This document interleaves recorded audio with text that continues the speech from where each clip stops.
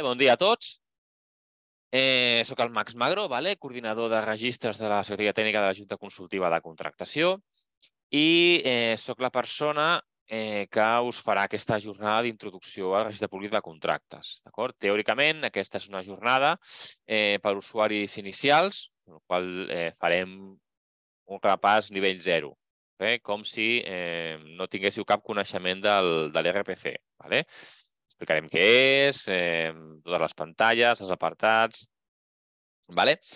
Eh, el que us he comentat des del principi, eh, no, no utilitzeu el xat, vale? pel xat no, no, podeu, no podeu posar res, qualsevol dubte que tingueu, eh, per l'apartat que teniu de preguntes i respostes, Q&A, vale? feu la pregunta.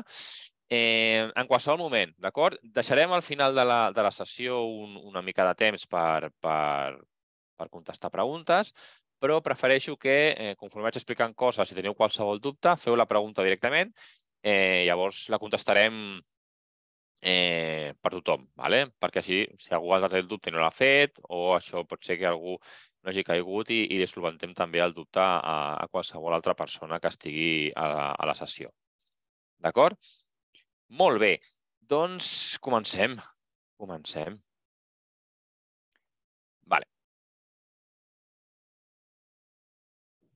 Eh, surto aquí, petitet. D'acord. Vale. Eh, coses que...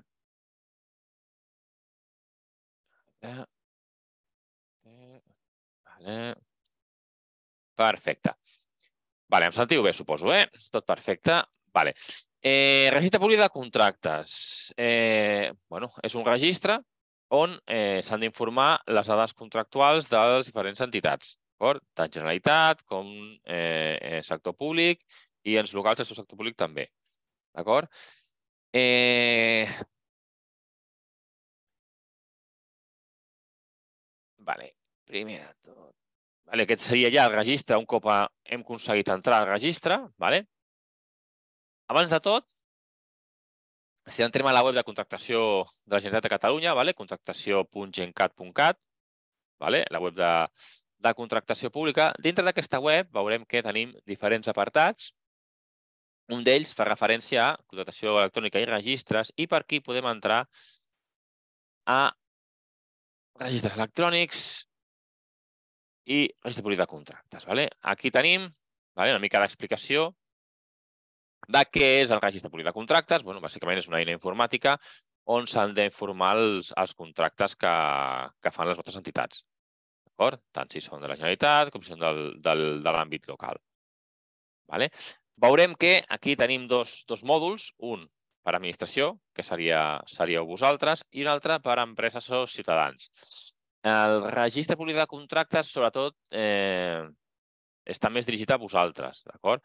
Eh, ja que sou els que teniu que informar-lo amb les dades de, de la vostra contractació pública.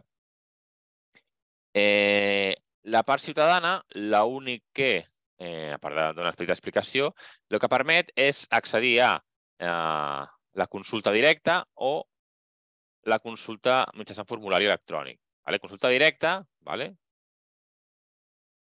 suposo que això també, si no ho coneixeu, ja us ho explico jo, ens porta al cercador de pública de contractes. De fet, si nosaltres entrem a Google vale? i fiquem cercador RPC, vale? ja la primera cerca ens porta aquí. No, espera, que he ho. Vale, ja la primera cerca, vale? si cliquem la primera, ens portaria al mateix. És la mateixa. Vale? Què és el cercador? Què és el cercador de l'RPC? Vale? És la versió pública del, del nostre RPC. O sigui, nosaltres, quan accedim com a usuaris al registre públic de contractes, eh, entrem a la part d'usuari, vale? si no ens identifiquem com a usuari i no estem donats d'alta com a usuari, no podem accedir, que ens permet informar les dades. Aquest altre cercador de RPC és la part on el ciutadà, o, o vosaltres també, si, si voleu entrar des de fora com sense usuari, podeu consultar les dades dels contractes que s'informen. És la, la part eh, que dona compliment a la, a la llei de transparència. vale? del registre públic de contractes. Eh, quins contractes eh, apareixen aquí perquè tothom els pugui veure? Aquí surten els contractes eh, amb execució en els darrers cinc anys, vale? que estiguin vigents durant els darrers cinc anys i que estiguin validats per la Junta Consultiva de Contractació. Com veurem després, totes les dades que informem eh, passen per diferents eh, estats del contracte. L'estat inicial del contracte és l'organisme contractant. Això vol dir que el contracte està gravat en el sistema, el tenim allà, però és com un esborrany, val? no és vàlid encara, no és definitiu, eh, i, eh, per tant, encara el teniu vosaltres, diguem. Aquest contracte es podríem editar, el podríem esborrar, vale? Què passa? Un cop aquest contracte eh, està complet i està sencer, l'heu de trametre a la Junta Consultiva. Per tant, el contracte passa a estat eh, Junta Consultiva. Vale? Un cop en, en aquest estat, el contracte vosaltres ja no teniu accés a aquestes, a aquestes dades, vale? només nosaltres per eh, revisar que tot sigui correcte. Aquests contractes en estat junta consultiva poden eh, passar dues coses. Poden passar a estar validats, d'acord? Per tant, ja són dades definitives i teòricament correctes, o si no hi ha alguna cosa que no ens convenç eh, de cara a validar-lo, es poden retornar. Vale? Un cop retornat, vosaltres tindreu un avís de que el contracte està retornat i tornaria a estar a efectes pràctics com si l'estat del contracte fos l'organisme contractant. Vale? Tornaria a ser vostre. Podríeu aquell contracte, entrar a corregir-ho, eh, eliminar-lo, el que volguéssiu. Vale? Per tant, aquests contractes que ens heu, que heu gravat i heu tramès i nosaltres els donem per bons i els validem, vale? són aquests contractes, un cop validats, vale? que ja són dades definitives i bones, els que durant eh, cinc anys de vigència surten aquí en el cercador públic de registre públic de contractes. Vale? I llavors, els ciutadans, sense ser usuaris de registre, poden entrar a consultar les, les seves dades. Com veieu, és, és un cercador que permet diversos criteris de filtre. Podríem, per exemple, eh, a l'òrgan de contractació posaríem a presidència, per exemple. Vale? Comencem a escriure, llavors ja ens cerca per paraules, vale? Quins organismes tenen aquelles paraules, triem aquest organisme que volem veure. Podríem filtrar per organisme o podríem filtrar per altres criteris, eh? com per exemple contractes de, de tipus obres eh? amb imports eh, des de 500.000 euros a, a un milió. Podem, podem filtrar per procediment d'adjudicació, per tipus de contracte. Si sabem el codi expedient concret del contracte, podríem cercar per aquest, per aquest criteri, per objecte. Vale? Ens identifiquem, com que no som robots. Vale? I llavors ens treu una cerca vale? en tots els contractes que compleixen els criteris de filtre, de filtre que els hem posat, vale? amb algunes dades de resum. Vale? Aquí no tenim totes les dades que tenim al registre, vale? només públicament només surten eh, algunes dades de resum. Podríem entrar dintre d'aquell contracte. Vale? Vale? Si tingués modificacions, pròrrogues o estigués liquidat per resolució, també sortiria aquí. D'acord? O podríem aquest llistat treure'l, tenim aquí l'XLS, vale? podríem extreure'l amb un Excel, aquest llistat. Vale? I això és l'accés la, que tenen els, el, les persones que no són usuàries del registre, d'acord? per consultar les dades que nosaltres informem en el registre públic de contractes.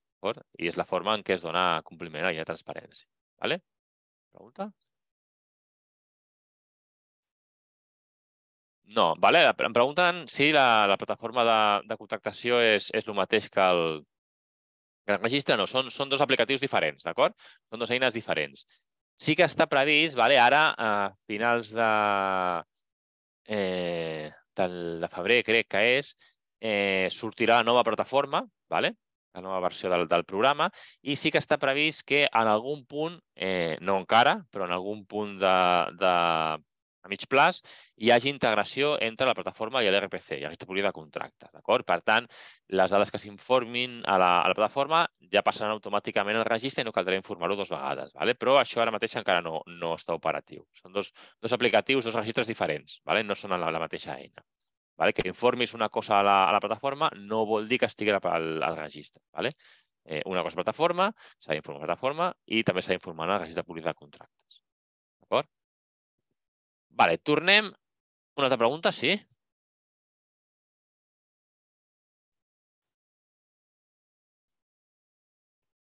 Eh, no, no, no m'he explicat potser bé. Si em pregunten si les, les concessions eh, no es veuran. Sí que es veuran. O sigui, el, el que es veu aquí vale, són els darrers cinc anys eh, des de que acaba l'execució del contracte. Amb la qual si el contracte eh, doncs acaba el 2020, vale, doncs sortirà fins al 2025. Vale? Con la qual, mentre el contracte estigui en execució, sortirà. I un cop acabada l'execució d'aquell contracte, durant cinc anys més, continuarà sortint aquell contracte. D'acord?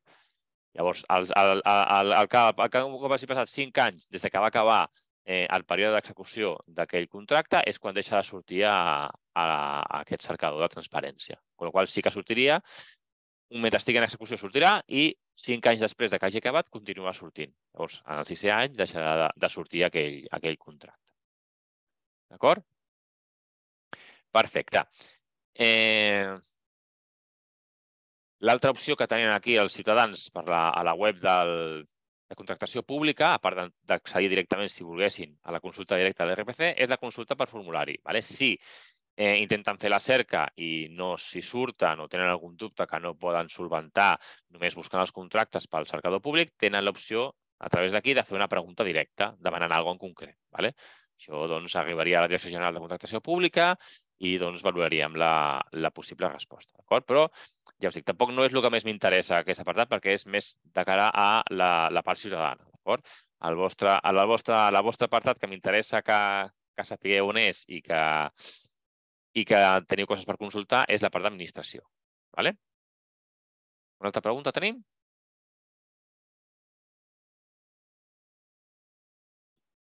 no ha quedat clara. Bueno, són, són dos aplicatius diferents, ¿vale? de plataforma i RPC. La diferència és que són, són dos aplicatius diferents, d'acord? A plataforma, eh, la missió principal és donar publicitat ¿vale? als contractes, ¿vale? eh, perquè els licitadors puguin veure la informació i presentar-se als concursos, a licitacions.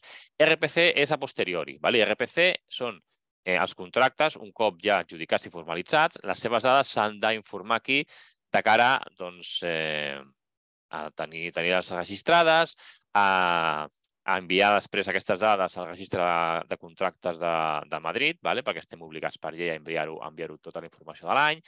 Eh, també enviem les dades a Sindicatura de Comptes perquè ho tinguin ells i perquè facin l'enviament que també estableix la llei al Tribunal de Comptes i perquè sortim també aquí a, a l'apartat de, de transparència de dades obertes. Vale? Són dos aplicatius diferents.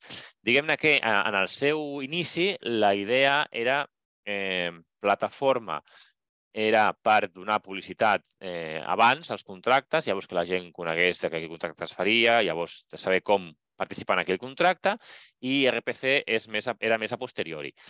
A cada cop més la plataforma s'estan informant ja també adjudicacions, inclús els, els menors i els basats, i per això, amb la nova plataforma, eh, ja s'està pensant a que, és, en quan sigui possible, ja us dic, això ara, ara mateix encara no, és, no serà així, però que com a mínim a mig plaç sí que tota la informació que es pugui aprofitar de la gestió de contractes de la plataforma doncs que pugui passar d'una a l'altra.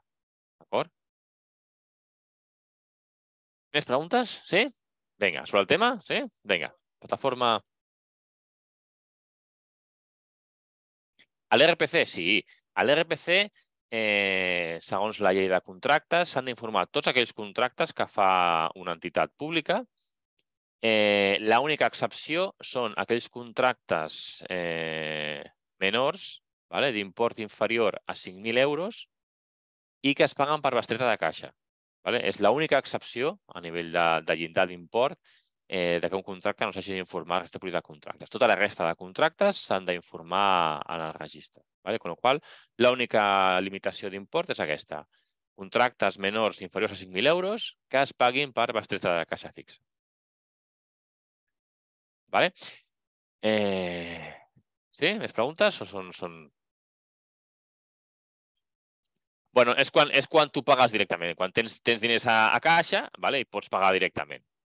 Vale? Ja, ja estipulats una, una quantitat màxima, eh, que ara no sé quina és per estableix, però bueno, ja, que, que es permet eh, pagar. Llavors, són diners que pagues al moment. Vale? Si no és així, s'ha d'informar el registre de contractes. Vale. Eh, què més tenim aquí a la, a la web que ens interessa? Tenim el manual, vale? que també ho tenim en el propi registre, aquí a la part de dalt. Vale? Aquí a la part de dalt tenim el manual i les preguntes freqüents. Vale? Igual que aquí, vale? bàsicament tenim el mateix, el manual, les preguntes freqüents, eh, l'informe d'avaluació del contracte, que ja direm més endavant el que és, i les instruccions de carreres de contractes menors, que també direm més endavant el que és. Vale? I tenim també eh, què hem de fer per la gestió de persones usuàries, vale? en el cas de que vulguem donar d'alta usuaris a RPC, vale? aquí tenim les dues vies de, per, eh, per demanar l'alta, vale? tant si som Generalitat com si són ens locals. Vale? Hi ha, hi ha dos, dos opcions segons el nostre àmbit. I també què hem de fer en el cas de que vulguem eh, corregir una dada d'un contracte que ja estigui validat. També tenim dos dies, segons si som eh, Generalitat o som eh, ens local. Vale? Tot això ja, ja ho insistiré més endavant, el tema de correcció de dades, el tema d'usuaris, doncs si, si teniu algun interès d'alguna persona, vosaltres suposo que sou tots usuaris, vale? per això esteu en el curs. Si hi ha alguna persona que, que coneixeu que vulgui ser usuària, doncs aquí a la, a la web de, de contractació gencat.cat, vale? a la part de l'RPC, teniu com demanar l'alta d'algun usuari.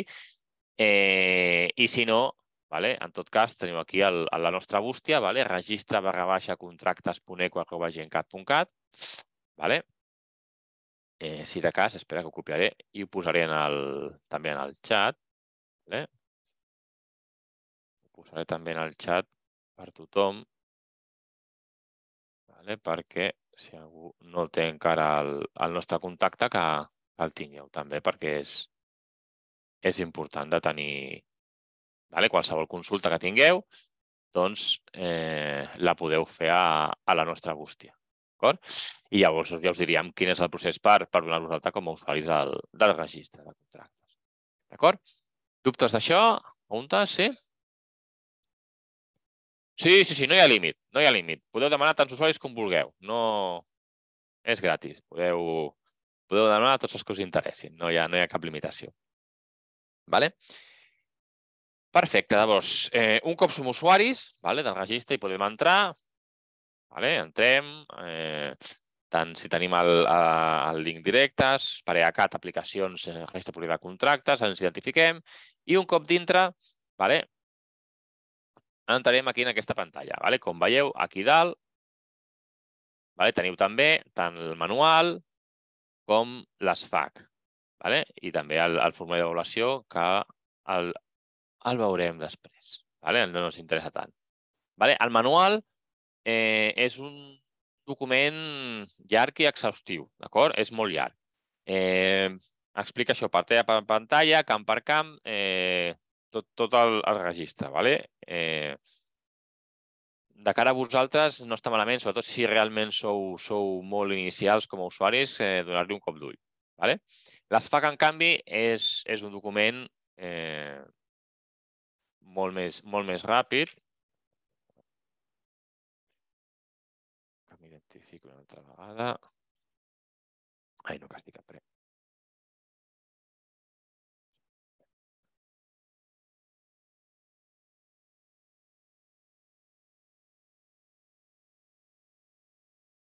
vale? on teniu eh, els problemes més habituals, vale? els errors més, més típics que es troben els usuaris del registre.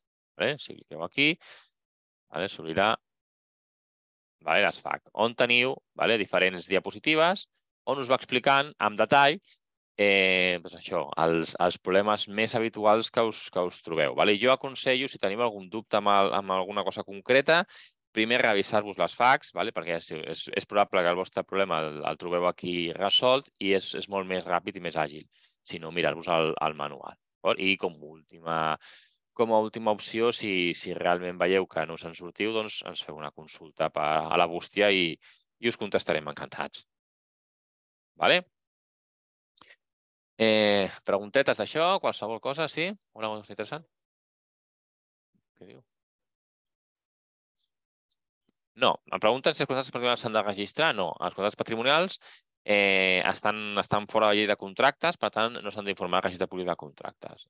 Aquí, a registre de contractes, només s'han d'informar aquells contractes que eh, es fan d'acord amb la llei de contractes del sector públic. Tot el que estigui exclòs d'aquesta llei no s'ha d'informar al registre públic de contractes. Vale? Perfecte. Eh... Eh, què hem de fer? Llavors, el, aquesta política de contractes, vale? sobretot el que ens centrarem a la, a la jornada d'avui, és eh, informar les dades directament aquí en el, en el programa contracte per contracte. Vale?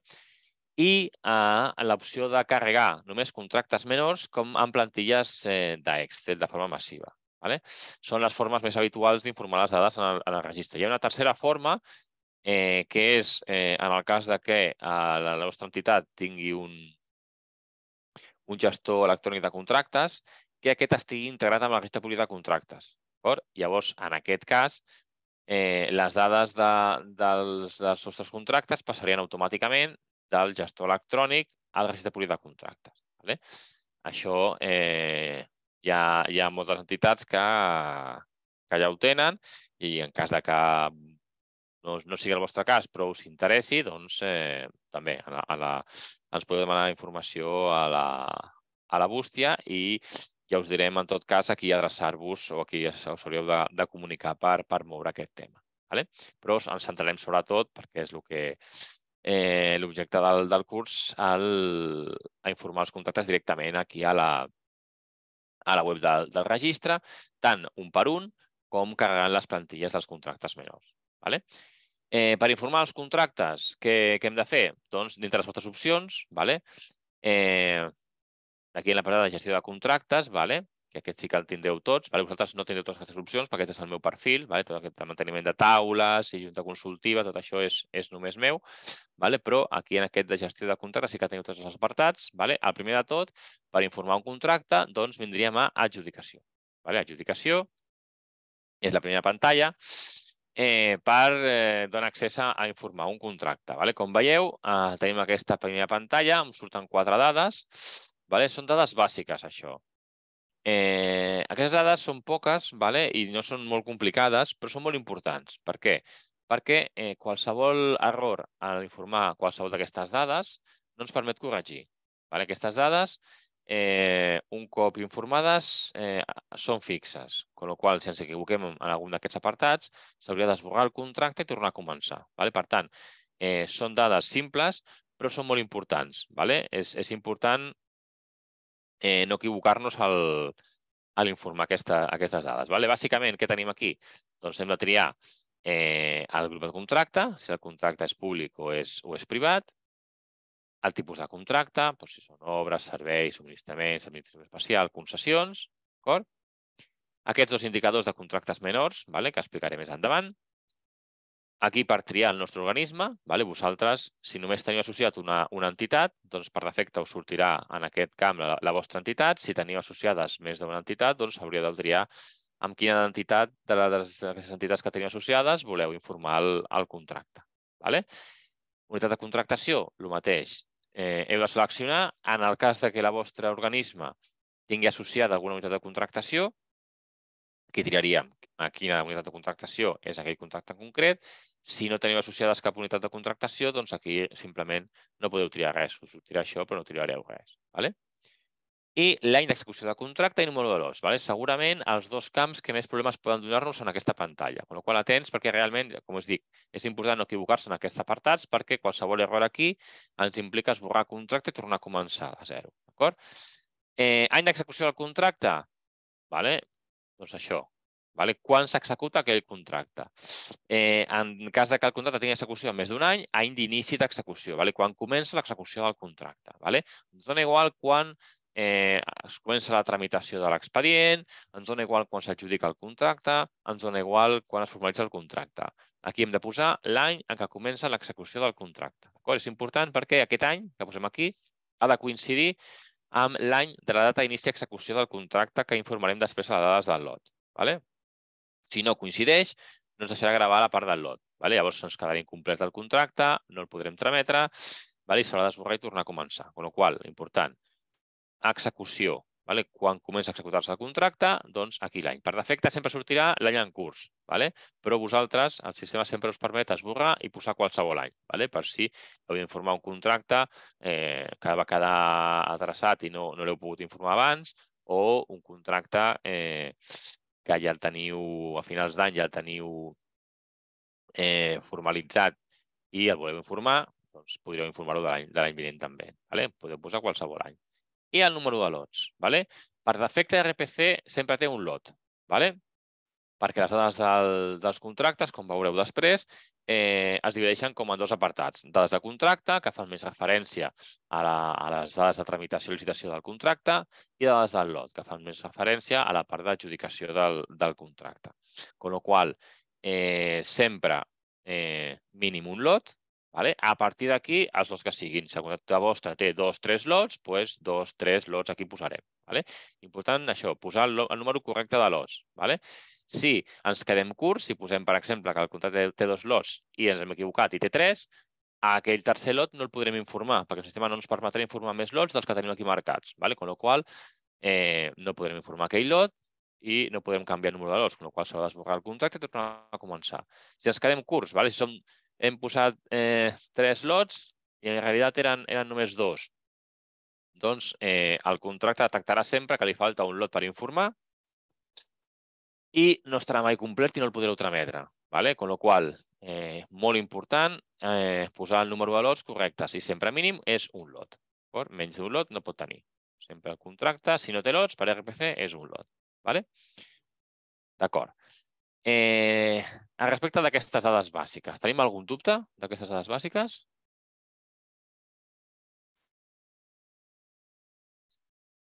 Els lots. Vale, dubtes amb els lots. Els lots, eh, ja us dic, si el contracte vostre que esteu informant és un contracte que, que no, no, no us indica res de lots, tranquils, és un lot, vale? i no cal que us preocupeu més, vale? perquè a nivell, eh, simplement és una part de la informació que s'informa en el registre. Vale? Eh, en el cas de que tinguin més d'un lots, bàsicament és que tu eh, tens un contracte dividit en diferents parts, d'acord? I s'adjudica cada part eh, per separat. Llavors tens un contracte eh, global, diguem-ne, del qual eh, tens doncs, 3-4 parts d'aquell contracte que s'adjudiquen per separat. Es poden adjudicar a diferents empreses o a la mateixa. Pot ser que tinguis tres lots i els tres adjudicat a la mateixa empresa o que tinguis tres lots i s'adjudiquin a empreses diferents. D'acord? Són d'això, com, com parts del, del mateix contracte que eh, s'adjudiquen eh, per separat. Vale? Més dubtes al respecte de dades bàsiques?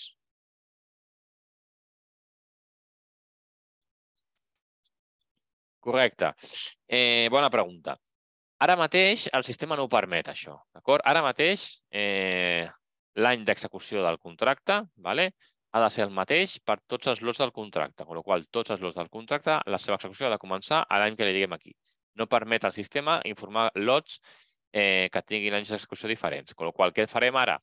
Eh, ara per ara, doncs, en aquests casos s'han d'informar per separat. Si tenim un contracte amb tres lots eh, del 2023 i un lot del 2022, s'informarem eh, aquests, el, els contractes, el, els lots del 23 tots junts, ah, vale? amb un contracte de, doncs, això són tres lots, doncs, de tres lots, i aquell altre contracte de l'any diferent, del 2022, per exemple, l'informaríem com un contracte d'un sol lot del 2022. Vale? Informaríem per separat. Vale? Això tenim en cartera una millora que en principi durant, durant aquest any 2023 s'hauria de pujar, que ens permetria eh, informar aquests contractes junts. Val? Informar un contracte amb diversos lots que s'executen en anys diferents, tots eh, eh, informats junts eh, sense problema. Vale? Només validaria que algun dels lots informats en aquell contracte eh, fos de l'any que li diem aquí les dades bàsiques. Vale?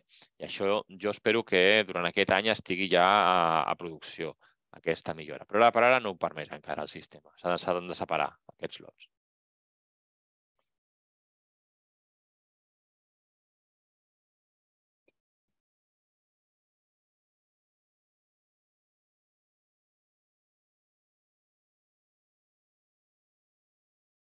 Vale.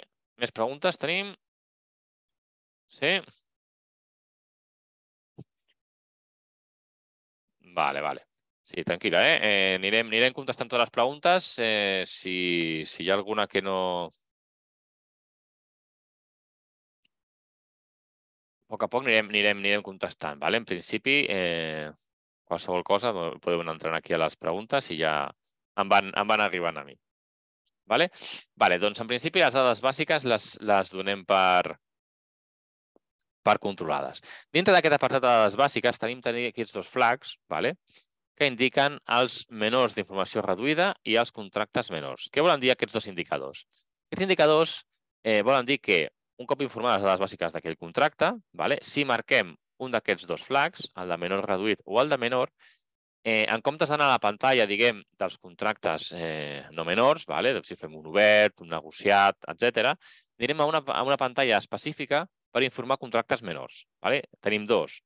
Una, per aquells menors que diem nosaltres d'informació reduïda, que són contractes menors eh, d'import, eh, en el cas de l'àmbit eh, local, de 5.000 euros o menys i en el cas d'àmbit generalitat 3.000 euros o menys. Vale? A partir d'aquests imports, el sistema ens permet utilitzar aquesta pantalla més reduïda i en aquesta, doncs, la resta de contractes menors. Vale? Un contracte menor, eh, que sigui menor, però que sigui de més de 5.000 euros en el cas de, de, de la Generalitat o més de 3.000 en el cas de, de l'àmbit local, doncs entraríem per aquí i aniríem una pantalla que és una mica menys reduïda que la de menor reduït, però més gran que però, però no, tan, no, tan, no tan completa, no tantes dades, no tan, no tan llarga d'informar com la pantalla diguem-ne normal del registre públic de contractes. Vale?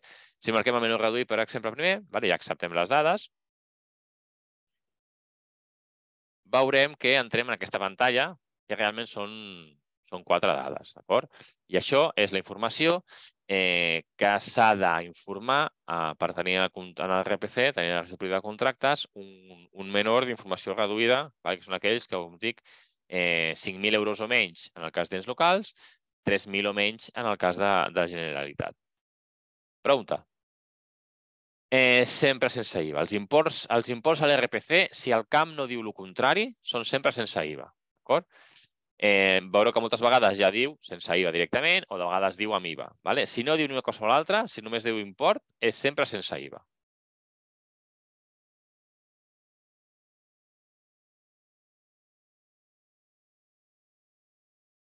Vale, em pregunten aquí pel una usuària com, com s'accedeix al, al registre de contractes. Vale? Eh, per accedir eh, per EACAT. Vale? Dintre d'EACAT, vale? a l'apartat aplicacions, trobareu un llistat de diferents aplicacions que, que tenen accés a EACAT, RPC. Vale? I llavors, eh, un cop allà, us, de fet, si voleu, puc entrar i us ho, i us ho ensenyo. Si anem a EACAT,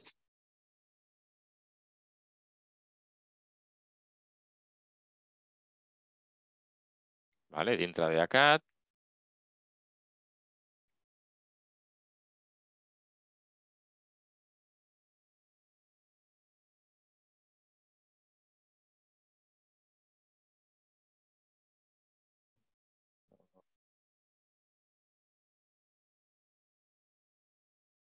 Vale? Anem a aplicacions.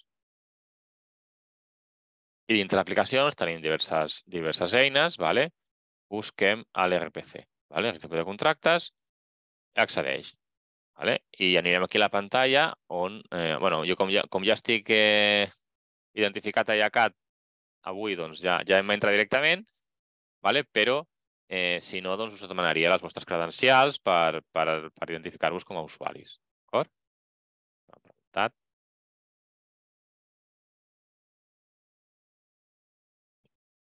Perfecte. Alguna pregunta més?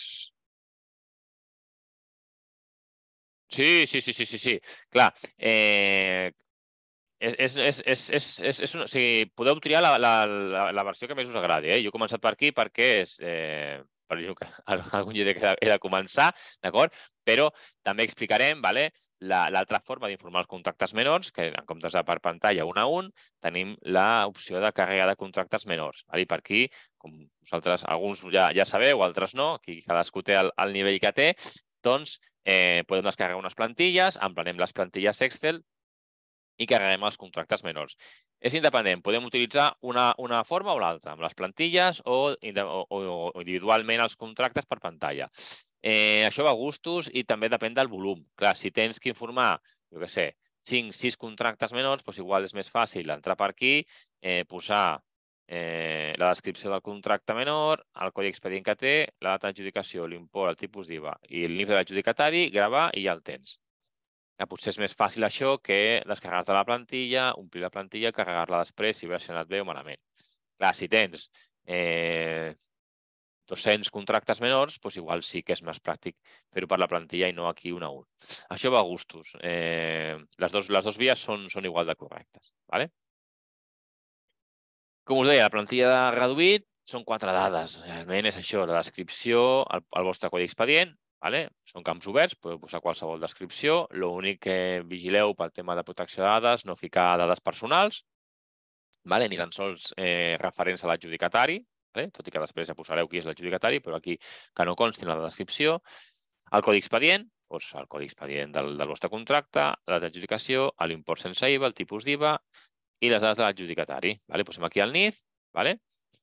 Eh, de fet, no cal ni que poseu cap altra dada. Si poseu el NIF i graveu, si ja el tenim nosaltres guardat, ja, ja repescarà les dades. Vale? I si no, sí que us diria doncs, que heu de posar les dades del, de l'adjudicatari. Si les voleu posar, doncs les podeu posar. Vale? Pregunta. Vale. En el cas de diferents tipus d'IVA, em comenten, què podem fer? Aquí no està previst, d'acord? En, aquest, en aquest tipus de contractes menors reduïts no està previst els diferents tipus d'IVAs. ¿vale?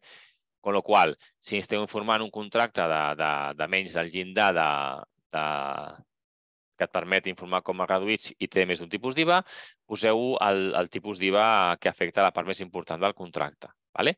En el cas que veurem de la resta de contractes menors o dels contractes que no són menors, sí que està prevista l'opció per informar contractes amb diferents tipus d'IVA. Vale? Quan, ara, quan us ensenyi les pantalles, ja ho veurem. Vale? Però en aquest tipus de contractes, dels menors reduïts, si us hi trobeu, eh, doncs, eh, si té més d'un tipus d'IVA, l'IVA que afecta a la, a la part més gran del, del contracte.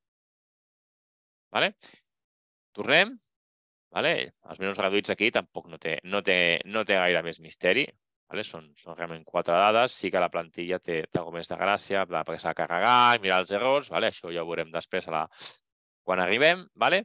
El contracte menor, doncs si tenim un contracte menor i no és un menor reduït, a l'informaríem marcant aquest altre xec de contracte menor. Vale? Aquí eh, eh, no es poden informar per aquesta via del contracte menor, vale? això sí, aquells contractes menors que siguin estudis, vale? perquè en aquí no hem, no hem no hem posat la, tot l'apartat per indicar els camps específics dels estudis. ¿vale? Con lo qual, si és un estudi, l'informaríem com un contracte no menor, ¿vale? indicant que és un contracte menor. ¿vale? Ja, ho veurem, ja ho veurem per la pantalla.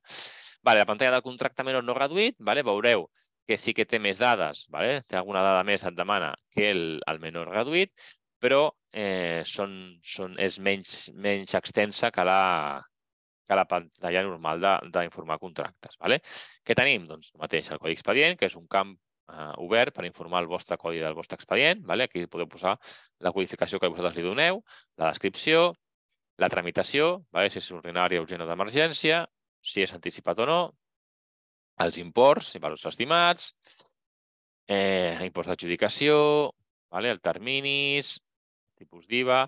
Vale? En aquest cas, si veieu, sí que tenim import adjudicat sense IVA i import adjudicat amb IVA. Vale? Con lo qual, en el cas que el contracte tingui més d'un tipus d'IVA, en comptes d'informar el camp tipus d'IVA, això ho deixarem en blanc i informarem els imports amb i sense IVA. D'acord?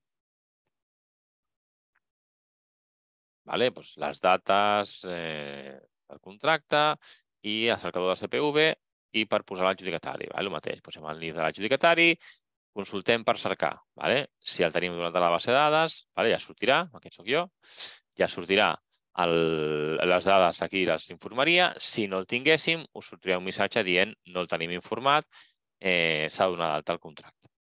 D'acord?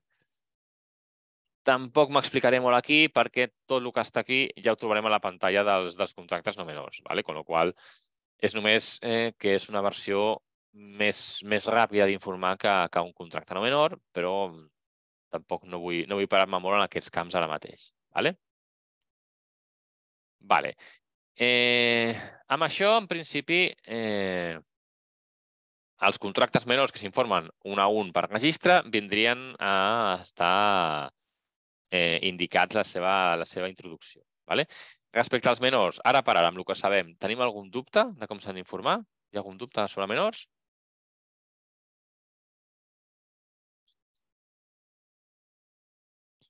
Crim en periodicitat. Bona, bona pregunta, bona pregunta. Eh, teòricament, vale, eh, els contractes s'han d'informar eh, en el mes següent, tenim un mes des de que el contracte es formalitza per informar la registre públic de contractes. D'acord? Per la qual eh, s'hauria d'informar en un mes. Vale? Per fer-ho perfecte. Eh, què és el mínim? Vale? El mínim és, eh, no sé si vosaltres ja heu rebut, si sou usuaris suposo que, que sí que heu rebre la comunicació, eh, el 28 de febrer tanquem les dades del 2022. Vale? Eh, és quan fem el tancament per doncs, això, acabar de validar-ho tot, eh, fer revisió de, de la informació i fer l'enviament al registre públic de contractes de Madrid. Vale? Con lo qual, 28 de febrer és la data límit vale? en la qual tota la informació de 2022 ha d'estar informada al registre i tramesa. Vale? No només informada i tramesa, ja veurem el que és eh, el de trametre i eh, com mirar que no tingueu res pendent de trametre. Vale? Ho mirem després.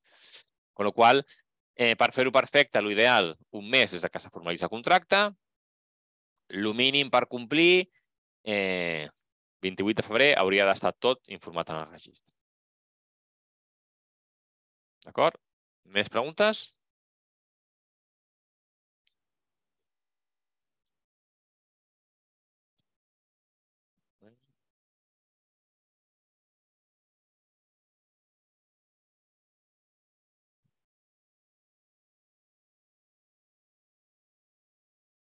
Em pregunten...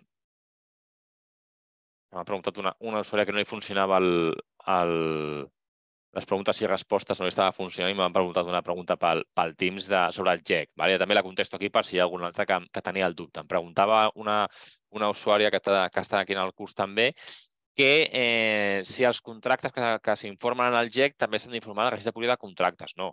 O sigui, el GEC és, és el que us comentava abans, vale? és, és un gestor electrònic de contractes que tenim aquí a la Generalitat i que està integrat amb l'RPC. Vale? Con lo qual, eh, com està integrat, tot el que s'informa en, en, en aquesta eina, en el GEC, eh, passa automàticament a la registre públic de contractes. Vale? Per tant, eh, si està en el, en el GEC, hauria d'estar a l'RPC automàticament. Vale? Eh, sí que pot ser que en l'enviament hi hagi algun problema, vale? però ja us ho diria. Vale? En, en el propi GEC us indicaria si el contracte s'ha enviat o no a l'RPC i si aquest enviament ha estat correcte o ha estat incorrecte. Vale?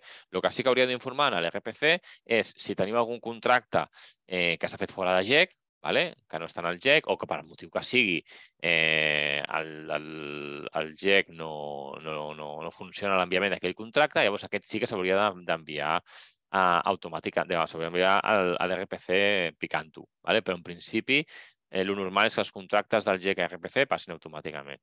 Vale? M'entens que tens una altra pregunta?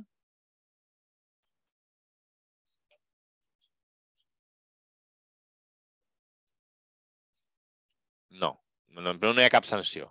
Em pregunten si, si hi ha sancions. Eh, no, és obligatori informar els contractes, la llei ho estableix així, però no estableix cap sanció ni cap, ni cap d'això, amb la qual Eh, L'únic que us podem dir és que s'han d'informar. Si us despisteu i per qualsevol cosa no s'ha informat en un contracte, doncs un cop ho sapigueu i us doneu compte, l'informeu. Vale? Més, vale, més val que sigui tard que, que, no, que no estigui al contracte, vale? però no hi ha previst cap, cap, eh, cap repercussió per no informar un contracte.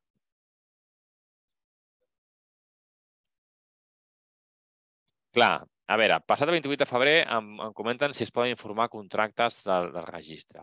Poder-se es poden. Vale? El sistema, eh, com veieu, quan donem d'alta un, un contracte, posem l'any del contracte, amb la qual eh, podem posar qualsevol any. El sistema no limita eh, que aquí eh, posem qualsevol any d'execució, amb la qual no ens impedirà informar un contracte, imagino ara, del 2021 o del 2022 en qualsevol moment. Vale? Amb la qual sí que el sistema podrà informar aquell contracte. I les dades constaran RPC Eh, I finalment trigaran més, però també sortiran a transparència, vale? un cop es validin. Què passa amb aquestes dades que, que s'informen a posteriori del 28 de febrer? Eh, nosaltres diem que tanquem, eh, tanquem el, les dades de registre el 28 perquè durant un temps deixem de validar els contractes que entren eh, per aquest any 2022 a l'RPC perquè no, no ens eh, desotoguin les dades de cara a, doncs, a fer els eh, temes estadístics, les memòries i a quadrar les dades que tenim nosaltres amb les que enviarem a Madrid. Per tant, eh, passat el 28 de febrer, eh, durant aproximadament, no arriba un mes, són dos, tres setmanes, eh, es deixa de validar perquè les dades es mantinguin fixes i es fa l'enviament de, del registre tant a Madrid com a sindicatura de comptes. Per tant, eh, tot el que entre a posteriori, quan tornem a validar, sí que es validarà, vale? con la qual constarà en el registre públic de contractes, tant el nostre, el que podeu accedir com a usuaris, com en el públic, com el que es dona per transparència, a la que us he ensenyat, de la, eh, de la de, transparència, de, de, de, de les obertes, però no s'enviarà al, al registre de Madrid i no s'enviarà a la sindicatura de comptes. ¿vale?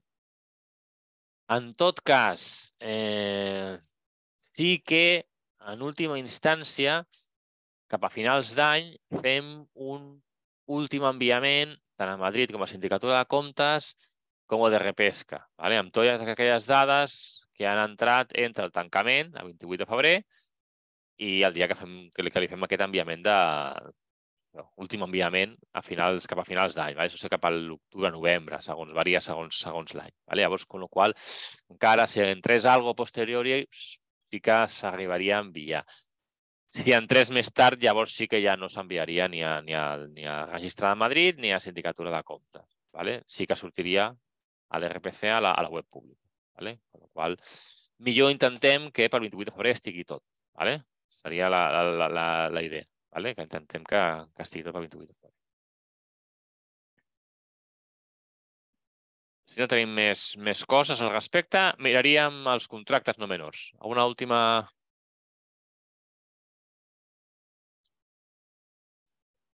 No.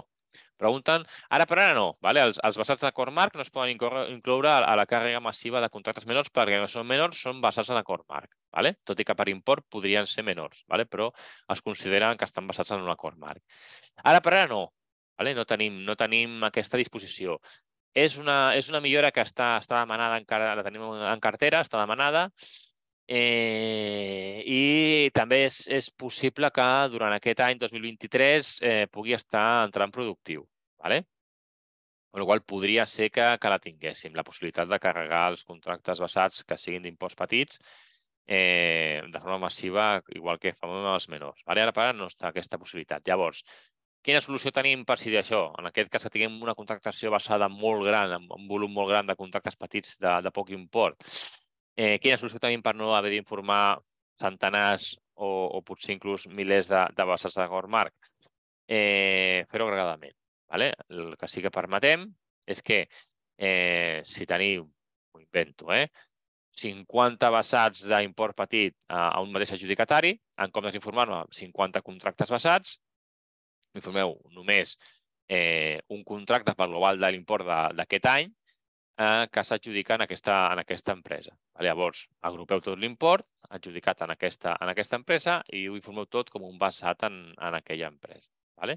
Però no es pot fer una càrrega massiva d'Excel encara de, de contractes basats. Vale? Sí que estem, estem treballant en això, però ara mateix encara no, no està disponible. Vale? Perfecte. Eh, si no triem cap flag d'indicador de menors vale, i acceptem les dades bàsiques, entrarem a la pantalla de les dades del contracte. Vale? Com us he dit, hi ha com dos, com dos blocs de dades. Vale? Tenim les dades del contracte, vale? que ens indica aquí, vale?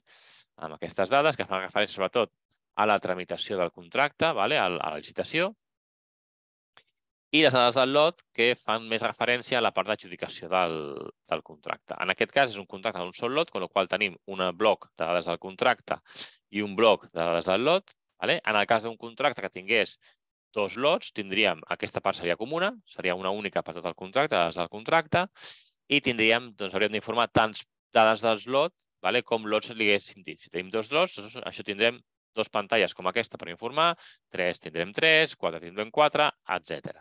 D'acord?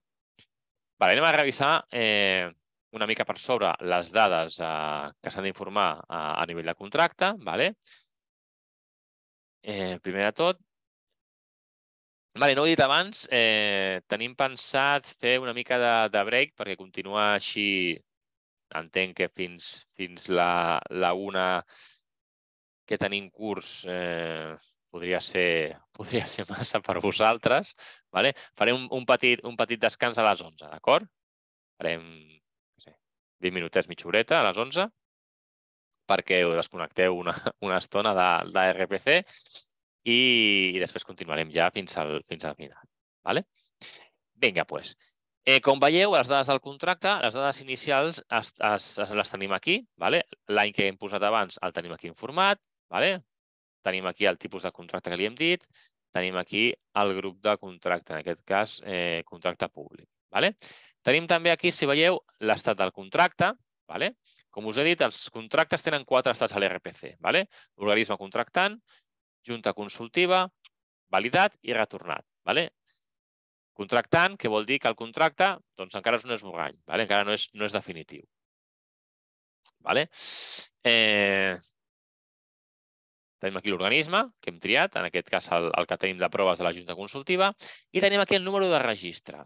El número de registre és una de les dues formes que tenim d'identificar els contractes a l'RPC. Una és el vostre codi expedient, vale? el, codi, el, el codi que poseu vosaltres, vale? que és un camp lliure on podeu posar doncs, eh, la codificació que vosaltres eh, li doneu a aquell expedient. Vale? I l'altre és el número de registre, que és el, diguem el codi nostre. Vale? Sempre estarà format per tres xifres, aquest codi. La primera és el vostre codi organisme.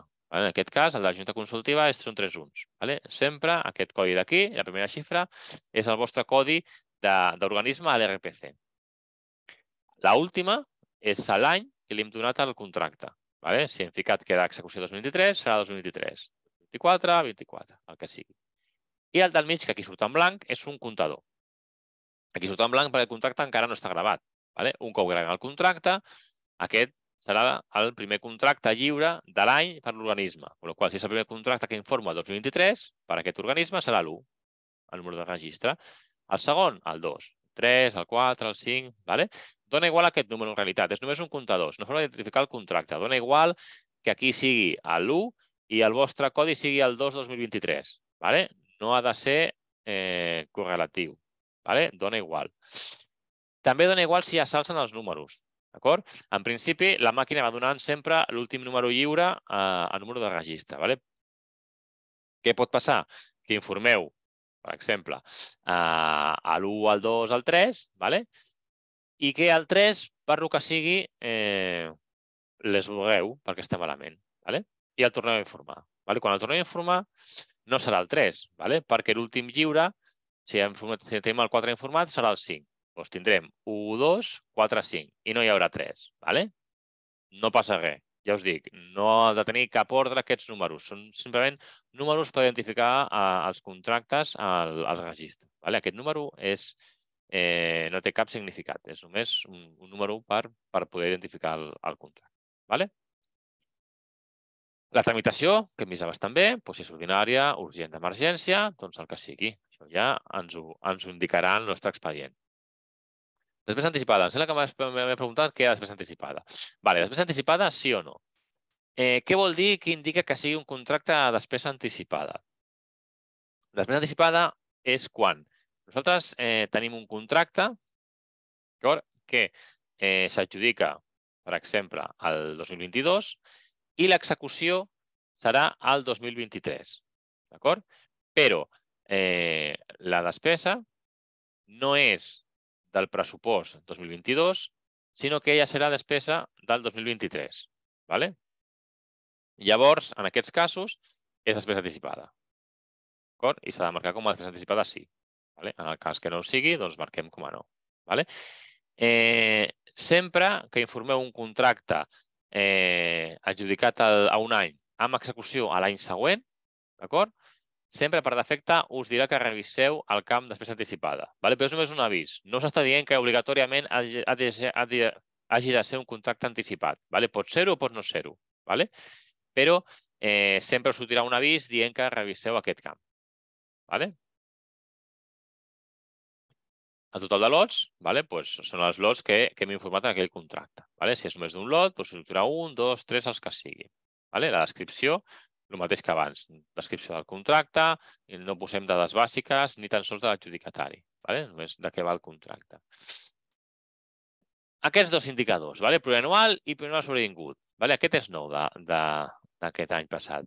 Eh, què volen dir i com funcionen? S'han de marcar vale? en el cas de que el contracte sigui plurianual per RPC. Què vol dir un contracte plurianual per RPC? Per RPC, un contracte és pluri quan la seva execució comença un any i acaba un any diferent, vale? independentment de lo que duri. Pot durar un any, pot durar sis mesos, pot durar un mes. Vale? Si l'execució comença en un any i acaba en un any diferent, ha d'estar marcat com a pluri. Llavors tenim dues opcions, pluri vale? i plurianual sobrevingut. Quina diferència hi ha? Eh, aquests, vale, plurianual, són aquells contractes que ja s'han tramitat des del seu començament com a contractes que han de ser plurianuals. Vale? Con el qual, des del principi, aquell contracte ja estava pensat que eh, la seva execució estaria eh, durant més d'un any. Vale? Plurianual sobrevingut són aquells contractes que inicialment no es van tramitar com a plurianuals, vale? però que, degut eh, a que s'allarga la seva tramitació o, o la, el seu inici d'execució, finalment, tot i que no estava previst, comencen a acabar en anys diferents. ¿vale? I llavors, en comptes de marcar plurianual, marcaríem plurianual sobrevingut, ¿vale? perquè s'ha convertit en plurianual. Efectes pràctics dona igual, o sigui, és només un indicador eh, que és un contracte d'un tipus o un altre. ¿vale? A nivell de RPC, el que ens demana el, el sistema, no hi ha diferència. ¿vale? En els dos casos, només eh, per marcar això, eh, el contracte ha de començar i acabar en anys diferents, vale? i en els dos casos, si està marcat això, eh, perquè estigui complet el contracte, veurem que ens demana eh, informar anualitats. D'acord? Vale. Eh, algun dubte d'això dels pluris? No? Perfecte, continuem. Procediment d'adjudicació. bueno, aquí tenim els diferents procediments que estableix la llei. Vale? No té més misteri. Vale? Si és un negociat, si és un obert, si és un restringit, concurs de projectes... Ja ho tindrem això en l'expedient, és només eh, indicar-ho. Vale?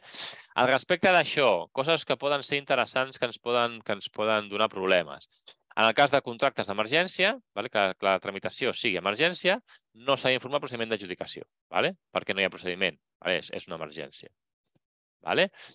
Eh, altres coses, en el cas dels oberts, vale? si triem que el procediment jugar és un obert, veurem que ens apareix un camp nou a sota, tramitació simplificada, que ens fa triar entre diferents tipus de contractes oberts. Vale? Si és simplificat, simplificat abreujat, amb mesures eficients o sense tramitació eficient.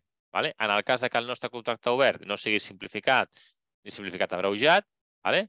ni tingui altre tipus de mesures eh, de tramitació eficient, si és un obert normal i corrent de tota la vida, marcaríem la darrera opció, sense tramitació eficient. ¿vale? Però és un camp obligatori, ¿vale? és un problema habitual, ¿vale? gravar el contacte obert deixant aquest camp en blanc. ¿vale? Llavors, eh, el contracte no estarà, no estarà correcte, ¿vale? es donarà error. ¿vale? Sempre s'ha d'informar aquest camp tramitació simplificada. ¿vale? En el cas de que l'obert no sigui ni simplificat ni abreujat ni res, la darrera opció sense tramitació eficient. ¿vale?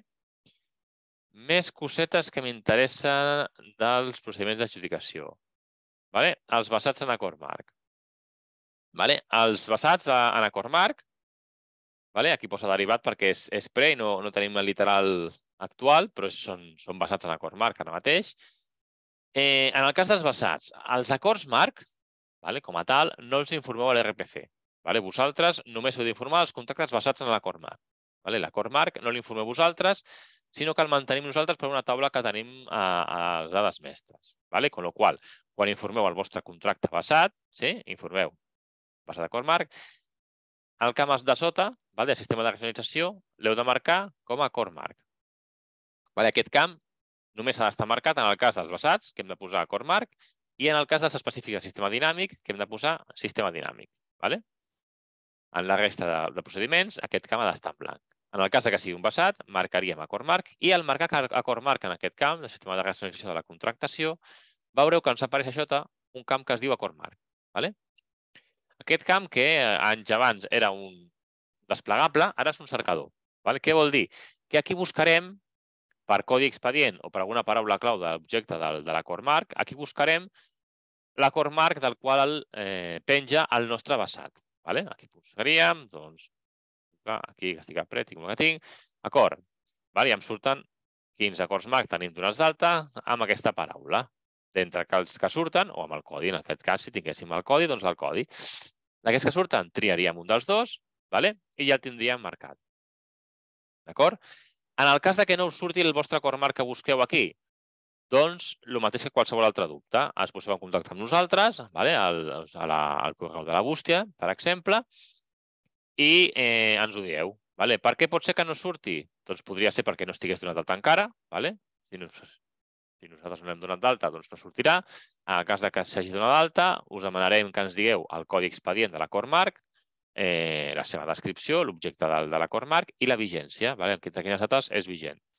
També podria ser doncs, això, que estigui que s'hagi prorrogat i nosaltres no l'hem prorrogat encara a l'acord marc, o que estigui caducat però eh, de fa poc, llavors vosaltres, entre que acabeu de, de fer el, el basat i l'informeu a l'RPC, doncs s'ha passat el termini de, de vigència de l'acord marc i per això no us surt. Vale? També, en qualsevol cas, us activaríem un altre cop la vigència perquè us aparegui aquí el vostre acord marc i el pugueu triar. Vale? Però recordeu, vosaltres només heu d'informar el vostre basat en acord marc, vale? les vostres dades, no l'acord marc eh, general. Vale? Això ho, ho tindreu eh, directament aquí per, per triar-lo. D'acord? Mm. Sí, són els acords marc, no? Eh, el que us dic, per, per comunicar-ho, si no el trobeu, vale? quan feu el vas vostre basat, si no està aquí l'acord marc, o si ja sabeu que és un, un acord marc que és vostre, que no és transversal, per tant, si no el comuniqueu vosaltres, no el comunicarà ningú, eh, a la bústia. Vale? Feu un correu a la bústia, eh, registre barra baixa contractes.eco arroba gencat.cat, vale? la teniu en el, en el xat.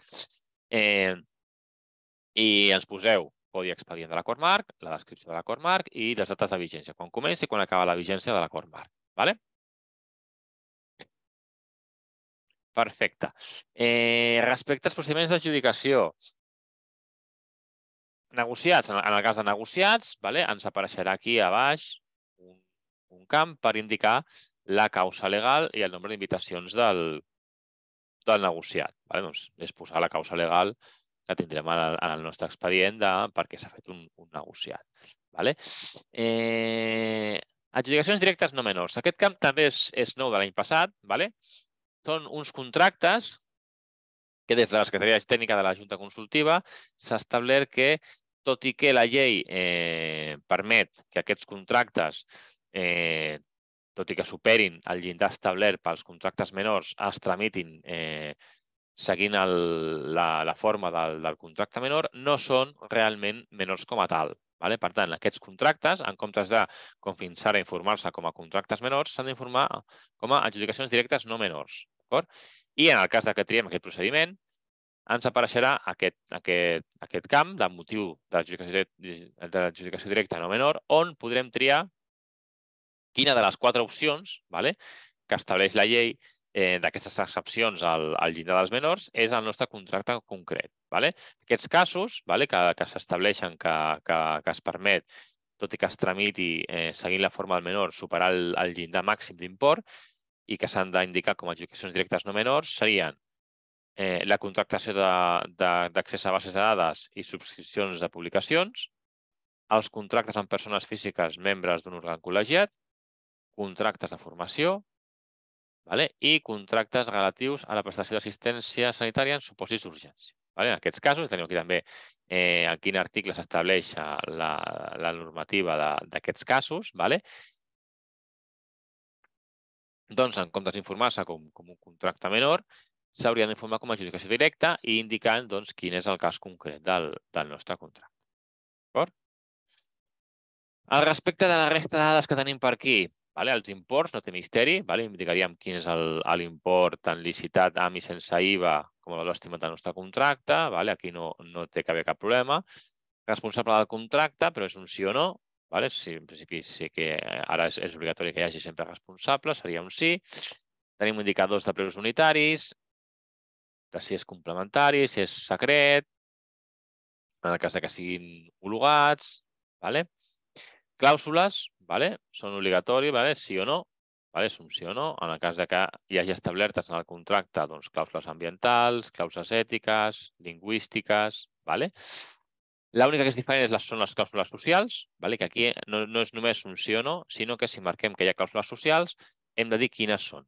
Vale? Tenim aquí un, un llistat, multiselecció, on podem anar posant totes les diferents clàusules socials que tingui aquest contracte. En el cas de, del tema de les clàusules, eh, un, un apunt, i és que eh, es considera que en el cas dels contractes basats en acord marc, vale, si l'acord marc té establertes algun tipus de clàusules de, tant ambientals, socials, lingüístiques o ètiques, es considera que els diferents basats també les tenen. Vale? Con la qual si l'acord marc eh, del qual penja el vostre basat té clàusules, també heu de marcar com a sí en el, en el vostre contracte basat. D'acord? Eh, pregunta, sí.